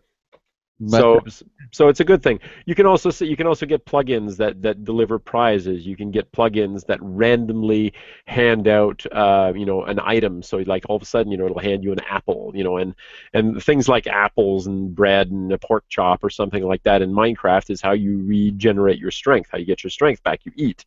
Um, you know, um, so you can learn cool lessons like that. There's one that lets you disguise yourself as mobs. Mobs are, are you know, the, the villains. Well, they can. There are different types of mobs. I mean, like uh, cows and sheep and, and Mhm. pigs and stuff like that are mobs. But uh, creepers and zombies and and uh, you know other nasties are also mobs. So you can disguise yourself with those things. I did that to my son because I thought it would be really really fun. Um, in the Pocket Mine server, I'll point out right now, mobs in in in in the full-blown mob action that you get uh, don't really work yet. I mean, you can you can spawn mobs to some degree, but they don't work. They don't attack you in the way that they do on an actual uh, in an actual Minecraft game or the or the one that you pay for. You know, the actual paid for Minecraft game. However, I did that to my son, so I disguised myself as a creeper because I thought it would be funny. And the first thing he did, of course, he came after me with a sword and killed my character. It's like, no, no, I didn't want you Well- to do that. I just wanted to, I wanted to show you something cool. I mean, kudos kudos to him for getting a creeper with a sword. That's that that's risky. he's fearless. He's also he's also the he, he's also the parkour master. Parkour is like you know you you uh, it's like giant obstacle courses that you create and so forth. So there you go. So so so plugins is one of the things you can do. And of course, there are so many projects and so many things that people are working on and developing. If you've got a hand, you know, if, if you're a, a budding programmer, if you're the sort of person that's interested in that sort of thing, um, you know, jump in. Feel free to help. You know, um, share your talents and so forth, and you know, become a hero to some of the people that are out there developing this stuff. And maybe you too can buy a 700 or 75 million dollar house in uh, in in Hollywood after after Minecraft buys your game I for would all $10 the million dollars. You know, all to Minecraft, exactly. He, I, you know, for, for someone who, who seemed really down to earth, I mean, he's spending his money well. He just went out and bought that seventy-five million dollar house. Why? Because he could. Yeah, it, Listen, you have two billion dollars. seriously. There. Come on, 75 million is, is is nothing, man. Just buy yourself the big house. Go nuts. Very much. And, and you know, and, and I was gonna say one of my favorite Minecraft mods is one that you know. Uh, it actually emulates another game called Pokemon, and it, it, it lets you kind of uh, play Pokemon but using Minecraft. So it's actually, you know, Minecraft is really great about becoming anything you want. I mean, it's been described as like the, the Legos for adults. The, you know, it's it's Legos in game form. It's perfect. So I mean, if you are bored with Minecraft, you go out on the internet, you do some googling, and you'll find mods that will make Minecraft a completely different game with a completely different objective, and you find yourself playing it again for another, you know, 15, 20, 30 hours. It's it's also referred to as a sandbox game. The idea being, you know, kids play in a sandbox. They just you know invent and do whatever they whatever they want. Yeah. Uh, we, we we should remind people out there that you know they can't ask anything they want. It doesn't have to be Minecraft related. No. Um, I, I noticed that inside the uh, chat room there. You know, just go ahead. Just just just just ask. Anything related to Linux, basically. Anything related to Linux.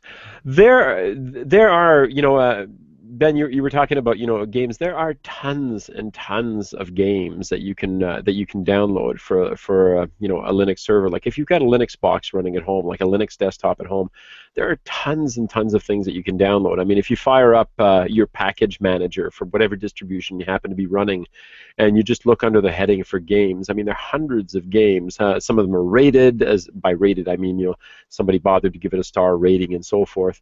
Um, and uh, you know, th- there are adventure games, there are first-person shooter games, there are arcade games, there are puzzles. There are tons and tons and tons of things that are out there, and you know they're all free for the download. I mean, uh, you know, you talk about the idea of setting up a, a game machine and so forth, but but uh, wow, I mean the the you know the selection that you've got at your disposal, you know, in terms of things to play with and so forth, is pretty danged awesome, you know, uh, in the Linux world. And uh, I highly recommend it. You know, you s- set up a box, you know, play with it. Uh, you know, at some point we will, you know, I will convert you. I will convince you that it is the way to go. Um, an alternative. Now, one of you know, just going back to, to one of the problems with Minecraft, of course, is that the Minecraft engine itself okay, is proprietary. Okay, that's something that you can't tweak. All right. So Mojang is does the development on, on the tablet edition, does the development on the PC edition, and so forth. If you actually wanted to get in there and actually play with how all this stuff works and learn how it works, including a client, there is a project out there. Now, I will point out right off the bat that it's early days. Okay, it's not as slick as Minecraft by any stretch of the imagination. But if you're, you know, a gamer who, you know, is also interested in programming, who would like to see how this sort of stuff works and would like to try their hand at some development, you know, and be able to access the source code for the game itself, there's a project out there called Minetest, M-I-N-E-T-E-S-T, Minetest.net, and I will uh, post that one as well. Um, which you know you can go down there and you can download the source for the whole thing and um, you know and and build it and play with it and find out how the whole thing works. Uh, the the source code is available you know for download.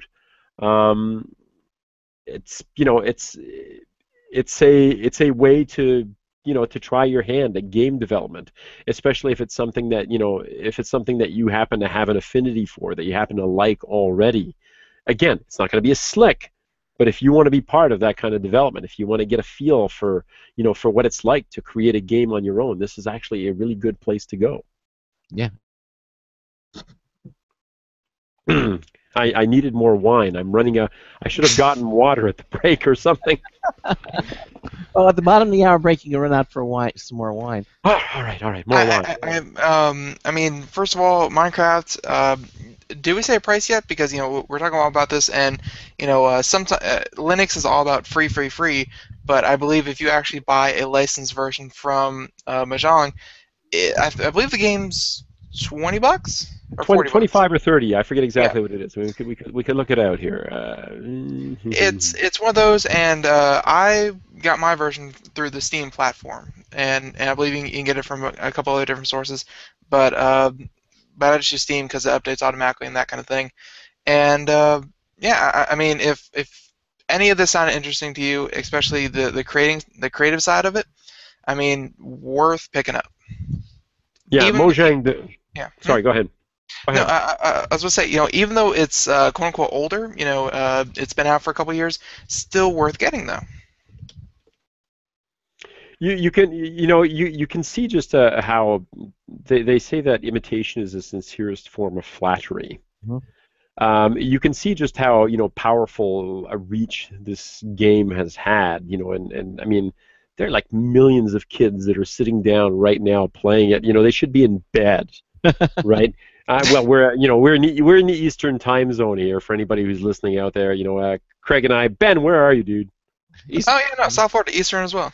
Okay, so we're all in the Eastern time zone. So you know, for us, it's like you know, 20 after 11 at this moment. And uh, but you know, you've got kids. It's like you know, dudes, you should be in bed, but they're sitting under their blankets. And you know, if I went upstairs, I might even find my kid doing that. No, I know he's asleep because you know I left him asleep.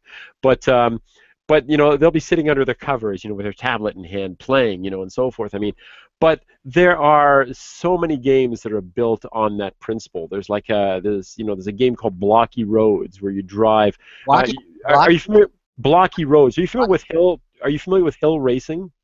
No, I, I'm not. I'm not. Ben is the one that's more familiar with the games than uh, than than me. Okay. Hill racing. Yeah, hill racing is like this weird hillbilly racing game. Uh, I say hillbilly because of the kind of vehicle that you're driving at the beginning, and you've got this weird sort of character, and uh, you've got this terrible, awful bucket of a car, and you're going up and down these hills, and the thing is rattling and shaking. And the more you go, the more coins you collect, and then you can upgrade the type of tires you've got, and upgrade the type of engine you've got, and all that sort of stuff. And it has a pretty huge following now what's interesting is that now somebody created one called block uh, block racing or is that what I called it block racing I could look at it on my tablet Yeah. here um, but block racing is somebody basically recreated a Minecraft world you know block racing that you can run on your Android tablet and so you're you're like you're, you're Steve, you're the Minecraft guy, you know, driving a Minecraft car over a Minecraft landscape. It's just balls of fun, you know. So the, the you know, it's it's so popular that you've got you know this this massive this great level of imitation all these people creating games that are built around the whole concept of this sandboxing of building things and so forth. And um, and just you know people love that stuff. It's it's it's wonderful. So you know I appreciate uh, something like that that captures that many people's attention.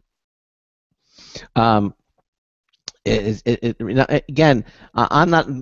Ben is the more of the gamer in the family than. than Even, even though, uh, well, first of all, I mean, it doesn't take you know a, a gamer to know what a, a racing game is, but you know, e- even even one who is as as diverse and worldly in video games as I, I have not heard of hillbilly racing, bucket race, you know, block racing, bucket racing, what have you.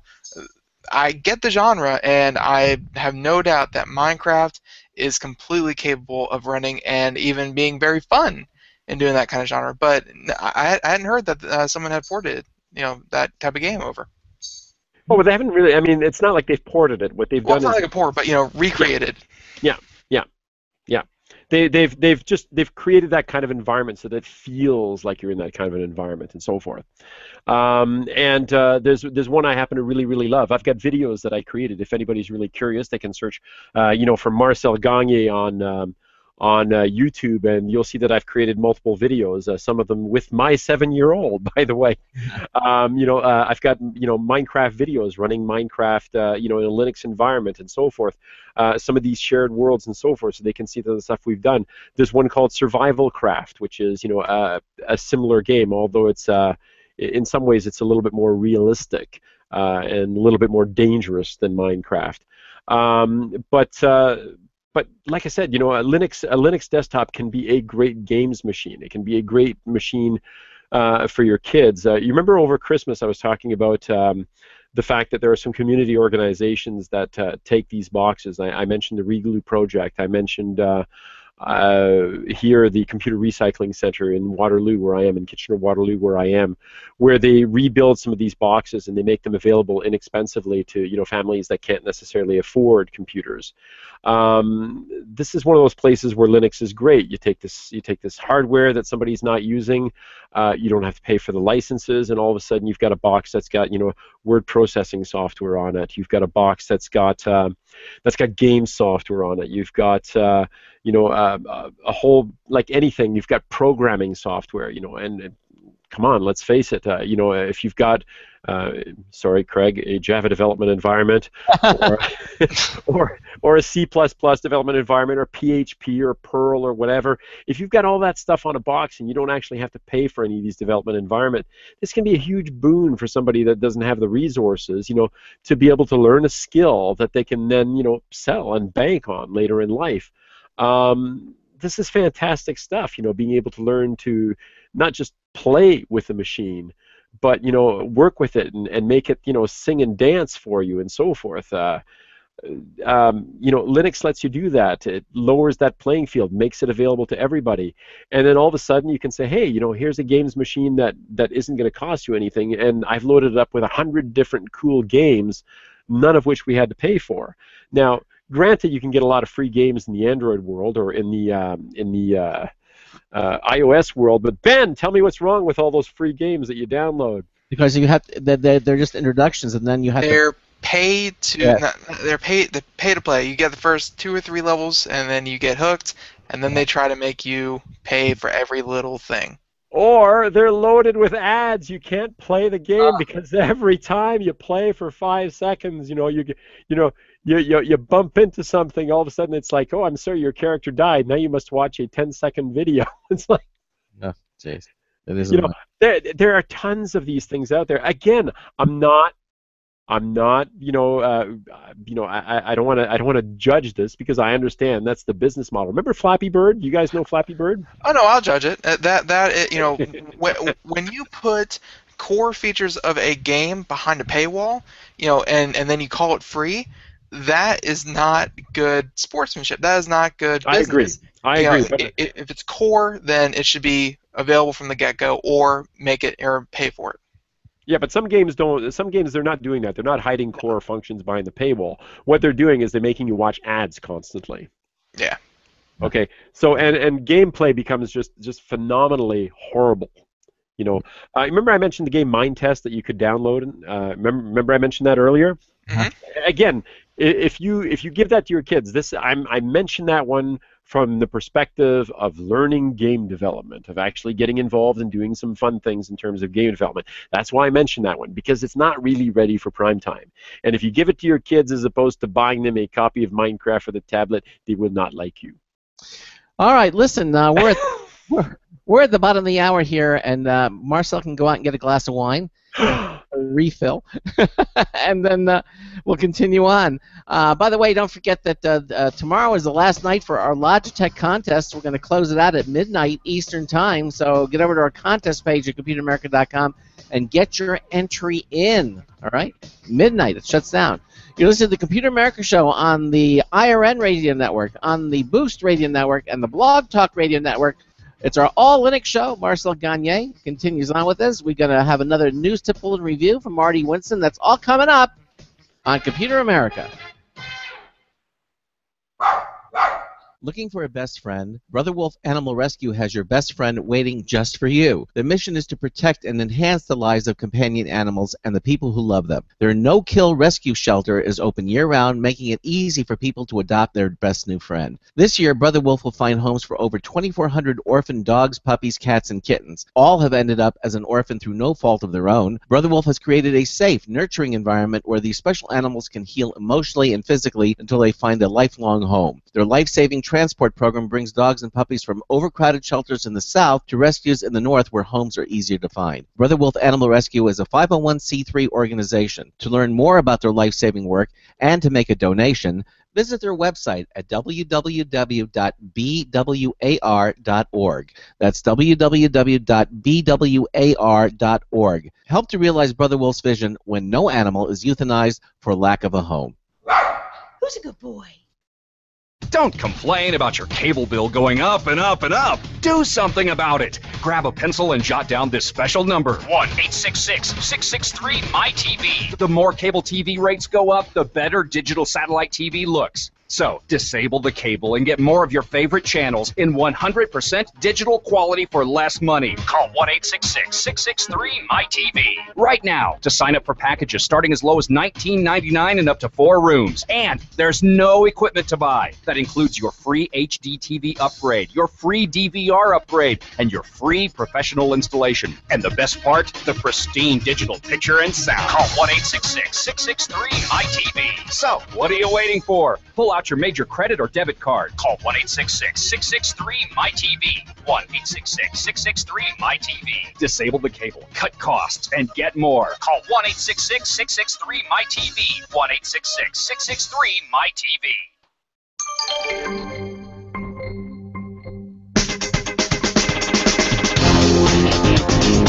I've been expecting you. This is Marty Winston with a News Tips Bulletin Review for Computer America. This time, the Sengled Pulse LED speaker. Sometimes the early entries in a category get enough things wrong that you think the category itself is a non starter. But then, when you least expect it, a new product gets it so right that you end up just grinning. That's what happened to us with the Pulse LED speaker by Sengled. It comes with a master unit and a satellite, each shaped enough like a BR30 flood lamp that it fits most places those bulbs go. As a 2700 degree Kelvin warm white LED, each is good for 600 lumens in a directed 105 degree pattern. An amplified speaker inside delivers 13 watts of audio per channel, enough for most residential rooms. Bluetooth 2.1 EDR makes it compatible with many sources, and an app offers handset or tablet control of volume and brightness, as well as a variety of equalization presets. Bottom line, the Sengled Pulse LED speaker fits stereo sound behind bright floodlights that fit almost any BR30 fixture. This is Marty Winston with a News Tips Bulletin Review for Computer America. Welcome back to the Computer America Show. It's uh, bottom of the hour, and we are, you know, talking to Marcel Gagne. It's our all Linux show, but you know, uh, we're talking about gaming and Linux, and uh, you know, actually, uh, Marcel, is this gaming and Linux, or is this Minecraft and Linux? Like this this show segment? Uh, you're you're muted, Mar- Marcel. Curses! I was muted. I was muted. Happens to the best of us. Ah, yeah, yeah. Anyway, um, now, why, why is the wine a different color now that you- you're drinking? you know, actually, actually, it's it's no longer wine now. it looks like apple juice. No, actually, it's Gatorade. Gatorade. Okay. Gatorade wine. Yeah, you never heard of it? All right. Uh, it's Gatorade, red wine, and Red Bull mixed together. What can I tell you? Delicious. I'm going to patent it, whatever it is. Headache. No, I mean I, I started mentioning Minecraft because because there's so many ways to, to integrate it into you know into a Linux environment, and and I mean if you go on the forums, if you go on the PocketMine forums and you take a look and they talk about you know what's the best way to host a PocketMine server, there is no argument whatsoever. The best way to do it is on a Linux box. I mean, you know, beginning and finito, that's the best way to do it. It's the most, you know, it's the most advanced of the development. It's uh, it's where you've got the most flexibility. It's where it's the easiest. Of course, you've got the highest level of security. I mean, uh, you know, let's we're, we're not going to get into a you know a, a Windows versus Linux for security thing tonight, but let's face it. I mean, Linux security beats you know pretty much anything that's out there. Nothing's perfect, but it certainly is you know a better alternative. Um, but uh, you know, but yeah, it's uh, I, I wanted to focus on on Minecraft, but it can be anything related to gaming. Now, somebody I, I noticed somebody there mentioning about you know being Linux being too geeky and nerdy and so forth. You know, um, we've come so far. I, I mean, I want to address that because it's sitting in there, and it's one of those things that you know to this day, it's like I mentioned the idea that you know uh, the first introduction of Linux, the Linux kernel, was August 25th, 1991, which also happens to be my wedding anniversary, Ah. August 25th, 1991, the same day. It's a coincidence. It No, actually- on purpose. I found that out later. I was writing my first book, and of course, I was copying down the, uh, you know, the famous letter, you know, from Linus Torvalds. I went, "Holy cow! That's like my wedding anniversary. That's so cool." I showed it to my wife, and it's like, "Oh, that's so cool!" You know, yeah, we were geeking out on that one too. Anyway, um, I love my wife. She's an awesome, uh, you know, she she doesn't do this anymore, but she's she's an awesome programmer. You know, she's uh, so. I have a huge amount of respect for programmers. Okay. But anyway, um, so so you know, there, there's still this weird idea that you know Linux has to be geeky and has to be hard to work with and so forth. But you know what? If you set up a modern Linux desktop, and I'm talking about, I mean, there's tons of them out there. Uh, if you want to set up something for business, you can set up a Fedora or Red Hat desktop. Uh, you can set up a, a, you know an OpenSUSE desktop. If you want something for home, you know uh, somebody joked in there Puppy Linux. If you've got a little, you know, if you've got a machine that doesn't have a lot of, of horsepower, you can set up Puppy Linux. Uh, there are obviously a whole pile of different distributions out there. Uh, Ubuntu, Linux Mint. Linux Mint is a great user-friendly distribution that's basically got you covered on uh, you know so many fronts. It's it's just scary, but it's it it doesn't have to be difficult. Under the surface, okay, a guy like me um, who you know likes to have access to everything can have access to everything. I can tweak it, you know, uh, from here till doomsday. I can I can drop down to the shell. I can do all sorts of wondrous things, but I can work entirely in a graphical environment that's as nice and friendly as anything that exists in the Windows world. And you know what? Let's let's be blunt here, okay? With the advent of Windows 8.1, mm-hmm. I'd say that Linux is actually now more user-friendly and functional than Windows. Okay? Mm-hmm. And a lot of people out there, I think, are going to agree with me on this one. All right? There you go. It's you know it, it doesn't have to be geeky. It can be extremely friendly, extremely easy to use. My parents, who are you know in their late 70s, use a Linux desktop. They've been using a Linux desktop for years. Yeah, they've got me if they want to call me, but the fact is they don't call me every day. They they do what people do on you know on their computers. They surf the web. They you know they visit websites. They write and send email. They uh, they chat on Skype. You know with uh, with their you know with their family in another province. That sort of thing these are the sorts of things that people do, and you don't actually have to be, you know, uh, you don't have to be geeky, you know, or a computer scientist to be able to do those things. Everybody can do those things. What's the hottest laptop that people were buying just recently? It's it's the hottest laptop on the market right now. What is it? The Chromebook. Chromebooks. What do Chromebooks run? Linux. Well, the, they run the Chrome OS, but now you can run Linux on them. They just, we just The Chrome OS is Linux. Yeah, they it's it's it's But they Google's. they had something. Didn't they have something? We had a story, Ben, about that they that you could run Linux in a full window or something. No, I think that was a Chromecast. No, no, no. It was a, it was the Chromebook. They did something else with. They did something where you could run Linux full window. I, I got to go back and research the story, but they they and it was just like a week ago that they did this. But anyway, I digress. Go ahead. hey, that's my line. yeah, I mean, Chr- Chrome Chrome OS. I mean, Chrome OS is, is built on Linux. I mean, that's that is what it is. Okay.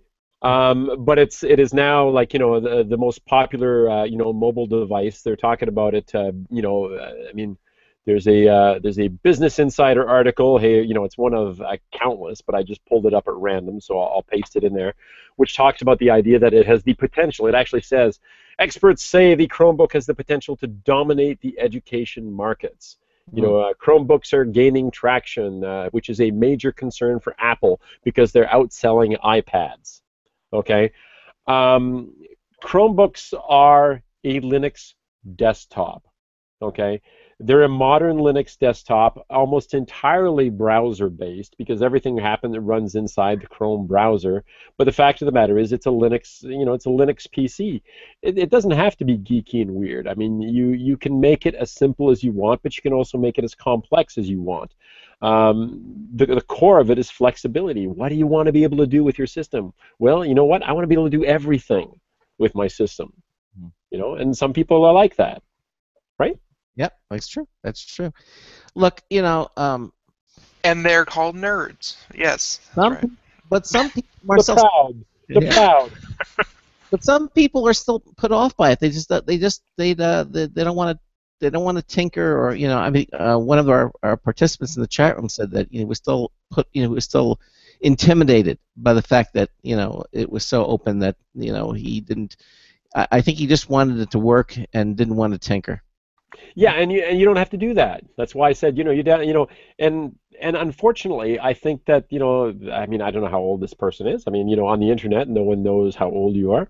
No. Um, but um, I, I know the joke is on the internet, no one knows your dog. You know that old cartoon, you know, of a dog sitting at a computer typing. Yeah. Remember that one? Did you It's, see an my, old- it's a classic. It's a classic. Yep, yep. my little dog? It was holding out Jasmine. Yeah, exactly. Yeah. What, anyway, um, so so I mean I don't know how old this person is or you know when the last time they tried a Linux distribution was, but hey, things have come a long long way. I mean we're talking 1991, and development in the Linux world has screamed by pretty much everything that's out there. The open source development model is used by businesses all over the world, including I might add Microsoft. Uh huh. Really. Okay. Um, yeah, I, you know, I, I used to try to explain how the open source development model worked by saying something like this, and I, I think I even used it on the last show, but I'll say it again anyway. let's, say that, let's say that you wanted to develop a word processor, so you sat down and, like from scratch, okay? If you wanted to create an apple pie from scratch, you would first have to create the universe. Who did I just quote? Carl Sagan. Anyway, That's right. Yeah. It threw me up because, because you didn't say billion with billions. Uh, Well, I didn't, but I was quoting Carl Sagan there. But if you wanted to create a word processor from scratch, you'd have to create an assembly language, a computer programming language, which is why you know, which is why software patents are idiotic because you have to build on top of thing. You can't build from scratch. Software patents are idiotic. No. Everybody out there listening, tell them that software patents are idiotic for that reason because you're always standing on the shoulders of somebody else who did the work before you. You can't do it from scratch. You know, just don't don't try to convince me of that. You can't do it from scratch. You have to build on the work of other people. That's just the way it is. Because you're going to use a programming language that somebody else built. But I digress. Anyway, so Where did I just hear that line? I'm e- I, I'm easily distracted. Have you noticed that? okay, so so let's say that you wanted to build a word processor from scratch. Um, you could sit there and you can say, okay, it's going to take me, uh, you know, a, a, a thousand, employees. you know, I'm going to have to spend, uh, you know, uh, have. Uh, 100 employees spend you know 10,000 hours working on this. Uh, I estimate that it's going to cost me uh, you know uh, four million dollars to develop this from scratch. And you go, holy cow! You know I don't have four million dollars in my company to be able to develop this. So what you do is you do with that you know with the gentleman who uh, called from Indiana at the beginning. I think it was Indiana or was it Louisiana? Yes. it was- No, Indiana. Okay, it was Indiana. He called from Indiana and he was talking about, you know, gamification. And I said, so what you do is you say, look, you know, I can't possibly build this. You know, I don't have the resources. This isn't a business. I'm trying to do something for my community. Or maybe it is a business, okay? But the cost of developing this is just so far beyond what is financially feasible for the company that the best thing I can do is open source it. What does open source do? It means that you suddenly recognize that, you know what, you're not the only person in the world who wants a word processor. Okay? So what you do is you involve other people in the development of, pro- of that project, and what you do is you assign a license to it, like the uh, the GPL, which says you can use this code, you can even resell the stuff, but you have to share all the development that you make on on this project with other people. In other words, you know, share and share alike. So all of a sudden now you build an application that your company needs, this million dollar or four million dollar, let's call it a million dollar word processor. Your company needs this, but a lot of other companies need that as well. So all of a sudden, what you said is, look, I'm going to spend a thousand dollars developing this in employee time. And a thousand other companies are going to spend a thousand dollars developing this. And all of a sudden, a thousand companies have a million dollar piece of software by having spent only a thousand dollars. You know what? That's good business. Yeah, it is. That's excellent business. And that's part of what the open source development model makes it. And that's why companies, and I'm talking companies, you know, around the world, the majority of companies, there was a poll done, I forget by who uh, follows this stuff, but, you know, uh, one of the big uh, technology uh, watching firms, uh, I don't know, Gartner, you know, one of these people, I don't know who, somebody can look it up. Uh, but they basically, they basically found that pretty much every company on the planet uses open source for development, you know, or in their business. They just do. You know, and I'm not even talking about the basics of the fact that you use the open source whenever you use the internet. You know, uh, you know, whenever you're trying to send an email or something like that. I'm talking about software. You know, they're they're either using software or they're developing, you know, using open source software. It's good business. Everybody does it. So you know, saying, well, you know, it's it's just too geeky or whatever. You know, the world runs on open source software. The world uses it. Everybody uses it. Mm-hmm. Yeah, exactly. Um, it, it makes it makes good sense to do that, and that's probably one. But, uh, and and you know, uh, uh, computer we can we can kind of say it all the time, but I mean, I think it's only a matter of time, though. I mean, it was only in the '90s when computers were for nerds, and now everyone uses computers, and now it's luckily it's just kind of you know contained in well, Linux and alternative operating system are for nerds. You know, Apple's for hipsters, Windows is for stupid people, and Linux is for no, nerds. no, no, no, no, no. Windows is not for stupid people. but uh, but but you know what I mean? Like uh, uh, the public perception, like it changes over you know. So so I think Linux, it's just a matter of time before. So you know, good that you're putting your voice out there, but I think regardless, it it's gonna shift.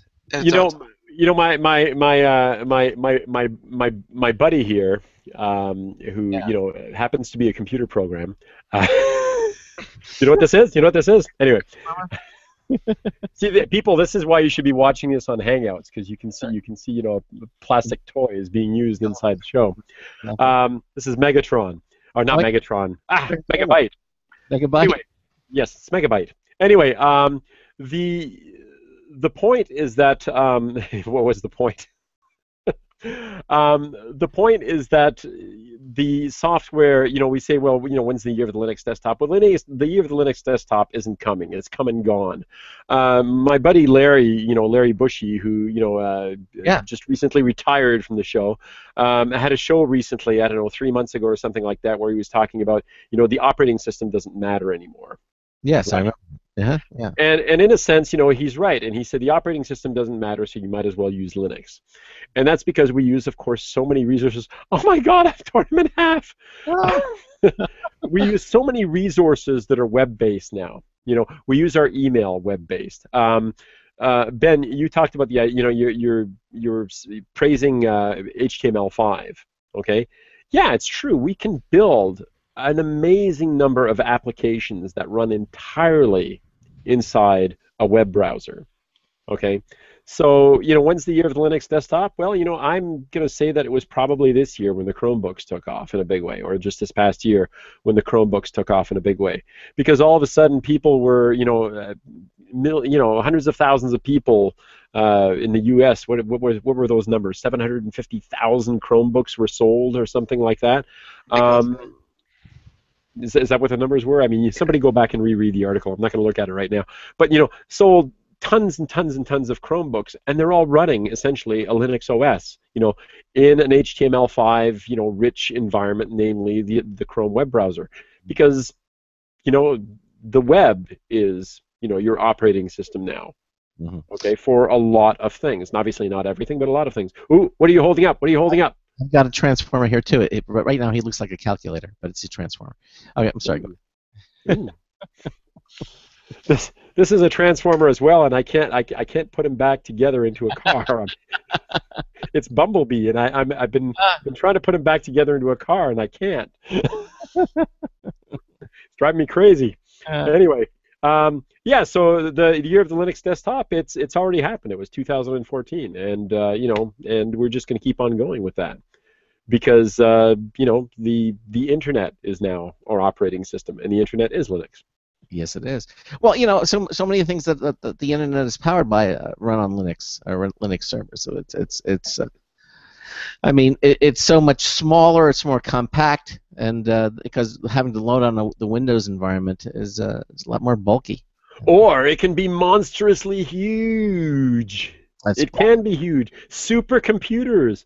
The world's supercomputers. What do they all run on? Linux. Let me hear it. There you go. Supercomputers. You know, all those all those render farms in Hollywood and so forth. They're all running Linux. Oh, because it's big and small. You can run little tiny. They don't want to waste. We were going to say Java. Well, no, they don't. They want to waste the processing power on the overhead. They just want. They want to get do the job, and that's what Linux allows them to do. There's no question about that. Yeah. Well, I'll tell you what. Uh, we're, we're, we've got about ten minutes left in the uh, hour, so why don't you summarize here a little bit, uh, uh, uh, Marcel, about. Uh, All right. All right, so let's let's go back to where we started from, just for fun. So for the people that uh, that missed it at the beginning, or the, you know that have been hanging on the whole time, the point was, hey, you want to have a lot of fun? Set up a Linux box um, and set up a Minecraft uh, uh, Pocket Edition or Personal Edition, whatever you want to call it, server for your kids and uh, and your family and so forth, so that you've got a nice, safe place to play. And the way you do that is, of course, you're going to have an Android tablet or you're going to have an iPad or you know something like that that's running Minecraft Pocket Edition or Personal Edition, whichever it is, Minecraft PE anyway. And uh, you're going to head over to PocketMine.net and you're going to download yourself. Um, you're going to use the download links that are there, and uh, you're going to install a PocketMine server on a Linux box. Uh, the easiest and most wonderful thing if Marcel runs on Linux. that is funny. Thank you. I like that. I like that. I wonder if Marcel runs on Linux, but probably requires a lot of wine. There's the pun intended because Wine is the Linux uh, program that allows you to run Windows. That is correct. That's funny. I like that. That's great. I'm going to steal that. Um, get your, you know, if you don't have a Linux box, go out there, take a look at one of the uh, one of the VPS providers out there. There are a whole pile of them. You can use you can use Amazon if you want, but Amazon is you know, I, I like Amazon. I mean, I actually use Amazon's, um, you know, uh, virtual server farm and so forth, but it can be pretty expensive to Mm. use. I mean, they've got some small things, but it, it's probably a lot cheaper to go with one of the uh, small VPS providers. And like I said, Linode.com is, is a great one to use. I know there are a bunch of other ones. Maybe you guys know some and you want to recommend some, you know, in the show notes. Uh, I, I don't know what you've used out there, but that's it's it's a great way to try you know, to, to actually try distribution, but it's also a great way to set up a server that's accessible uh, on the internet. Hey, you can run your own web server as well if you want, you know, um, you know, or an email server, you know, a whole bunch of different things. Or you can run a Minecraft Pocket Edition server uh, on there. Get yourself some plugins. Uh, there, you know, uh, make sure you get the uh, Simple Auth. You're going to want that one to make sure that. Uh, that your kids don't get caught, uh, you know, uh, somebody stealing their user IDs or whatever. Um, set set yourself up a, an economy. Uh, you can even download one called Kill Money, where you're Really? allowed to kill you're allowed to kill other characters for money. Not that I'm not that I'm uh, not that I'm in any way endorsing that, but let's face it, you do player versus player stuff, right? PvP. You play against other players. I told you my, my kid, I, I you know I, I disguised myself as a creeper and he struck me down like right away. Seven year old, it's just terrible. I I'm, I'm, I'm gonna have trouble living that one down. Yeah. so get yourself some cool plugins, and uh, you know, open it up. Uh, I I made these little cards that you know I printed up, you know, with the server address and the port, you know, that they connect and so forth. And I stuck it in his lunchbox so he could take it to school and hand it out to all his friends. And you know what? It has been balls of fun. You know, the, I mean, they love it. It's this it's this great, you know, interactive environment that they all get to you know hang out together in and, and play together and um, you know uh, people talk about the idea that you spend time in front of these things you know and it's uh, you know you- you're not socializing yeah you are you know they they sit there and they talk for hours and they build things together you know and it's this it's this wonderful interactive marketplace uh, it's it's it's lovely i think it's it's it's lots of fun have you ever read a book called ready player one Ready Player One. No, I have not. No. Oh, oh, come on, you guys, guys, guys, guys, pick it up, okay? All right. Pick up your Kobo or your Kindle or whatever and download Ready Player One. Okay, what's what's what's the name of the author here? Somebody tell me the name of the author really quickly here. Um, anyway, Ready Player One is uh, is about a, a near future world in which uh, everybody lives inside. Uh, it's Ernest Cline, Re- uh, Ready Player One by Ernest Cline, and the title comes from the old um, the old uh, computer games where it actually came up and said Ready Player One. Remember that? Yeah, right. Huh? Yes, I did. Yeah, yeah. Remember that?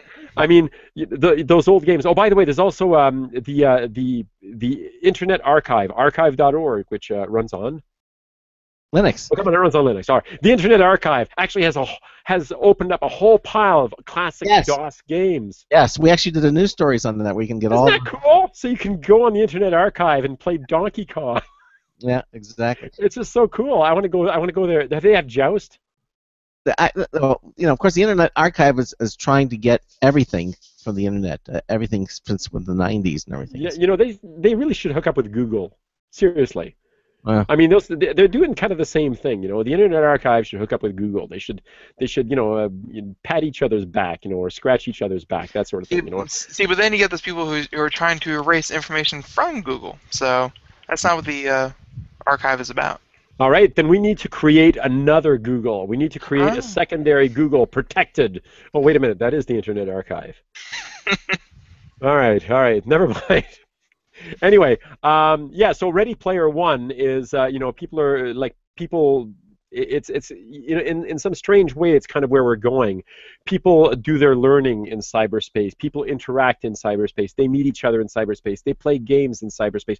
They go to school in cyberspace. All this other sort of stuff because quite frankly, life in the outside world in this particular, uh, you know, uh, in this particular book, kind of sucks. Although there's, you know, a bright glimmer of hope at the end. I won't actually tell you what it is because you have to read the book. It's great. Everybody out there that's listening, go pick up a copy of Ready Player One. I am not the author. I do not know the author, but it's awesome. It's filled with 1980s pop culture references. If you lived through the 80s, okay, Yeah. if you were alive in the 80s, old enough to listen to music and watch TV and stuff like that, you're going to love this Yeah, book. Ben's a little too young for that, but I remember them. I think I was conceived in the 80s. Maybe. That'll do. Yeah, that- How young are you, dude? Good grief. he's a young kid. uh, uh, just 24. Just turned 24. So Just turned 20, and he has no curiosity. I'm just shocked. I'm just kidding, Ben. Hey, Ben's Mark. gonna hate me. He's gonna hang up afterwards. He's gonna keep you online. He's gonna say, "I don't ever want that guy to come back. that guy. When's Larry getting back? hey, Marcel, uh, why don't you tell listeners? I mean, what are you up to these days? I mean, what, the, uh, Um, you have a you know, to uh, the website. Mhm.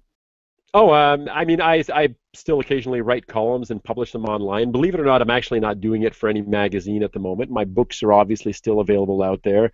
I have, I have like, I, I published something like, I mean, I did Linux Journal for about 10 years. I've published in about 20 different magazines. Uh, on the internet, there are about like eight or 900 articles that I've written out there, including stuff that's on my cookingwithlinux.com website and uh, my marcelgagne.com website. I'm developing software for ebook readers. Right? We have links. Um, we have links to that correspondence at to your websites. Is that thank you, I appreciate that. Um, if you, uh, if if any of you out there have a Kobo, you know the uh, the, the the Kobo ebook reader, um, there's a site. Uh, um, Kindle has its own thing, but uh, there's a site out there that has a um, called Writing Life, Kobo Writing Life, where authors can self-publish their own work to the Kobo uh, ebook platform. Well, the the conversion platform, I wrote that. Oh, Um, so, so I've been doing a lot of work with, uh, with uh, you know, in, in the ebook world and in the uh, ebook publishing world and so forth. And of course, I still, uh, you know, I still participate in the uh, Linux and open source world. It's, uh, you know, uh, it's it's something that I'm I'm fascinated by. Something I'm passionate about. It's something I believe in. I, I- believe in the open source uh, model. I believe in uh, in open development. I believe in uh, in the sharing of information. And um, and that's not something that's going to be anytime soon. Well, Marcel, uh, we're going to see you again next month on the 19th, and uh, and uh, for uh, another interesting. This has been a lot of fun, and uh, we're going to see you again next month uh, when you'll pick another topic for us. Stay with us to the end, okay? Because we're going to have our after show thing with our live video streaming. This is Computer America. Tomorrow night, we're going to have Tesoro on the show. They make some very interesting keyboards and mice. Uh, they have some uh, mechanical keyboards. They got some really cool stuff, and they're going to be on the first hour. Gaming, uh, gaming peripherals, actually. And then in hour two, computer and technology news brought to you by Slimware Utilities. It's all coming up tomorrow night. Thanks again to Marcel Gagne. So until tomorrow night, this is Craig Crossman hoping that your hard disk never becomes floppy. Ten seconds. We'll see you tomorrow night. Hey, everyone. Bye.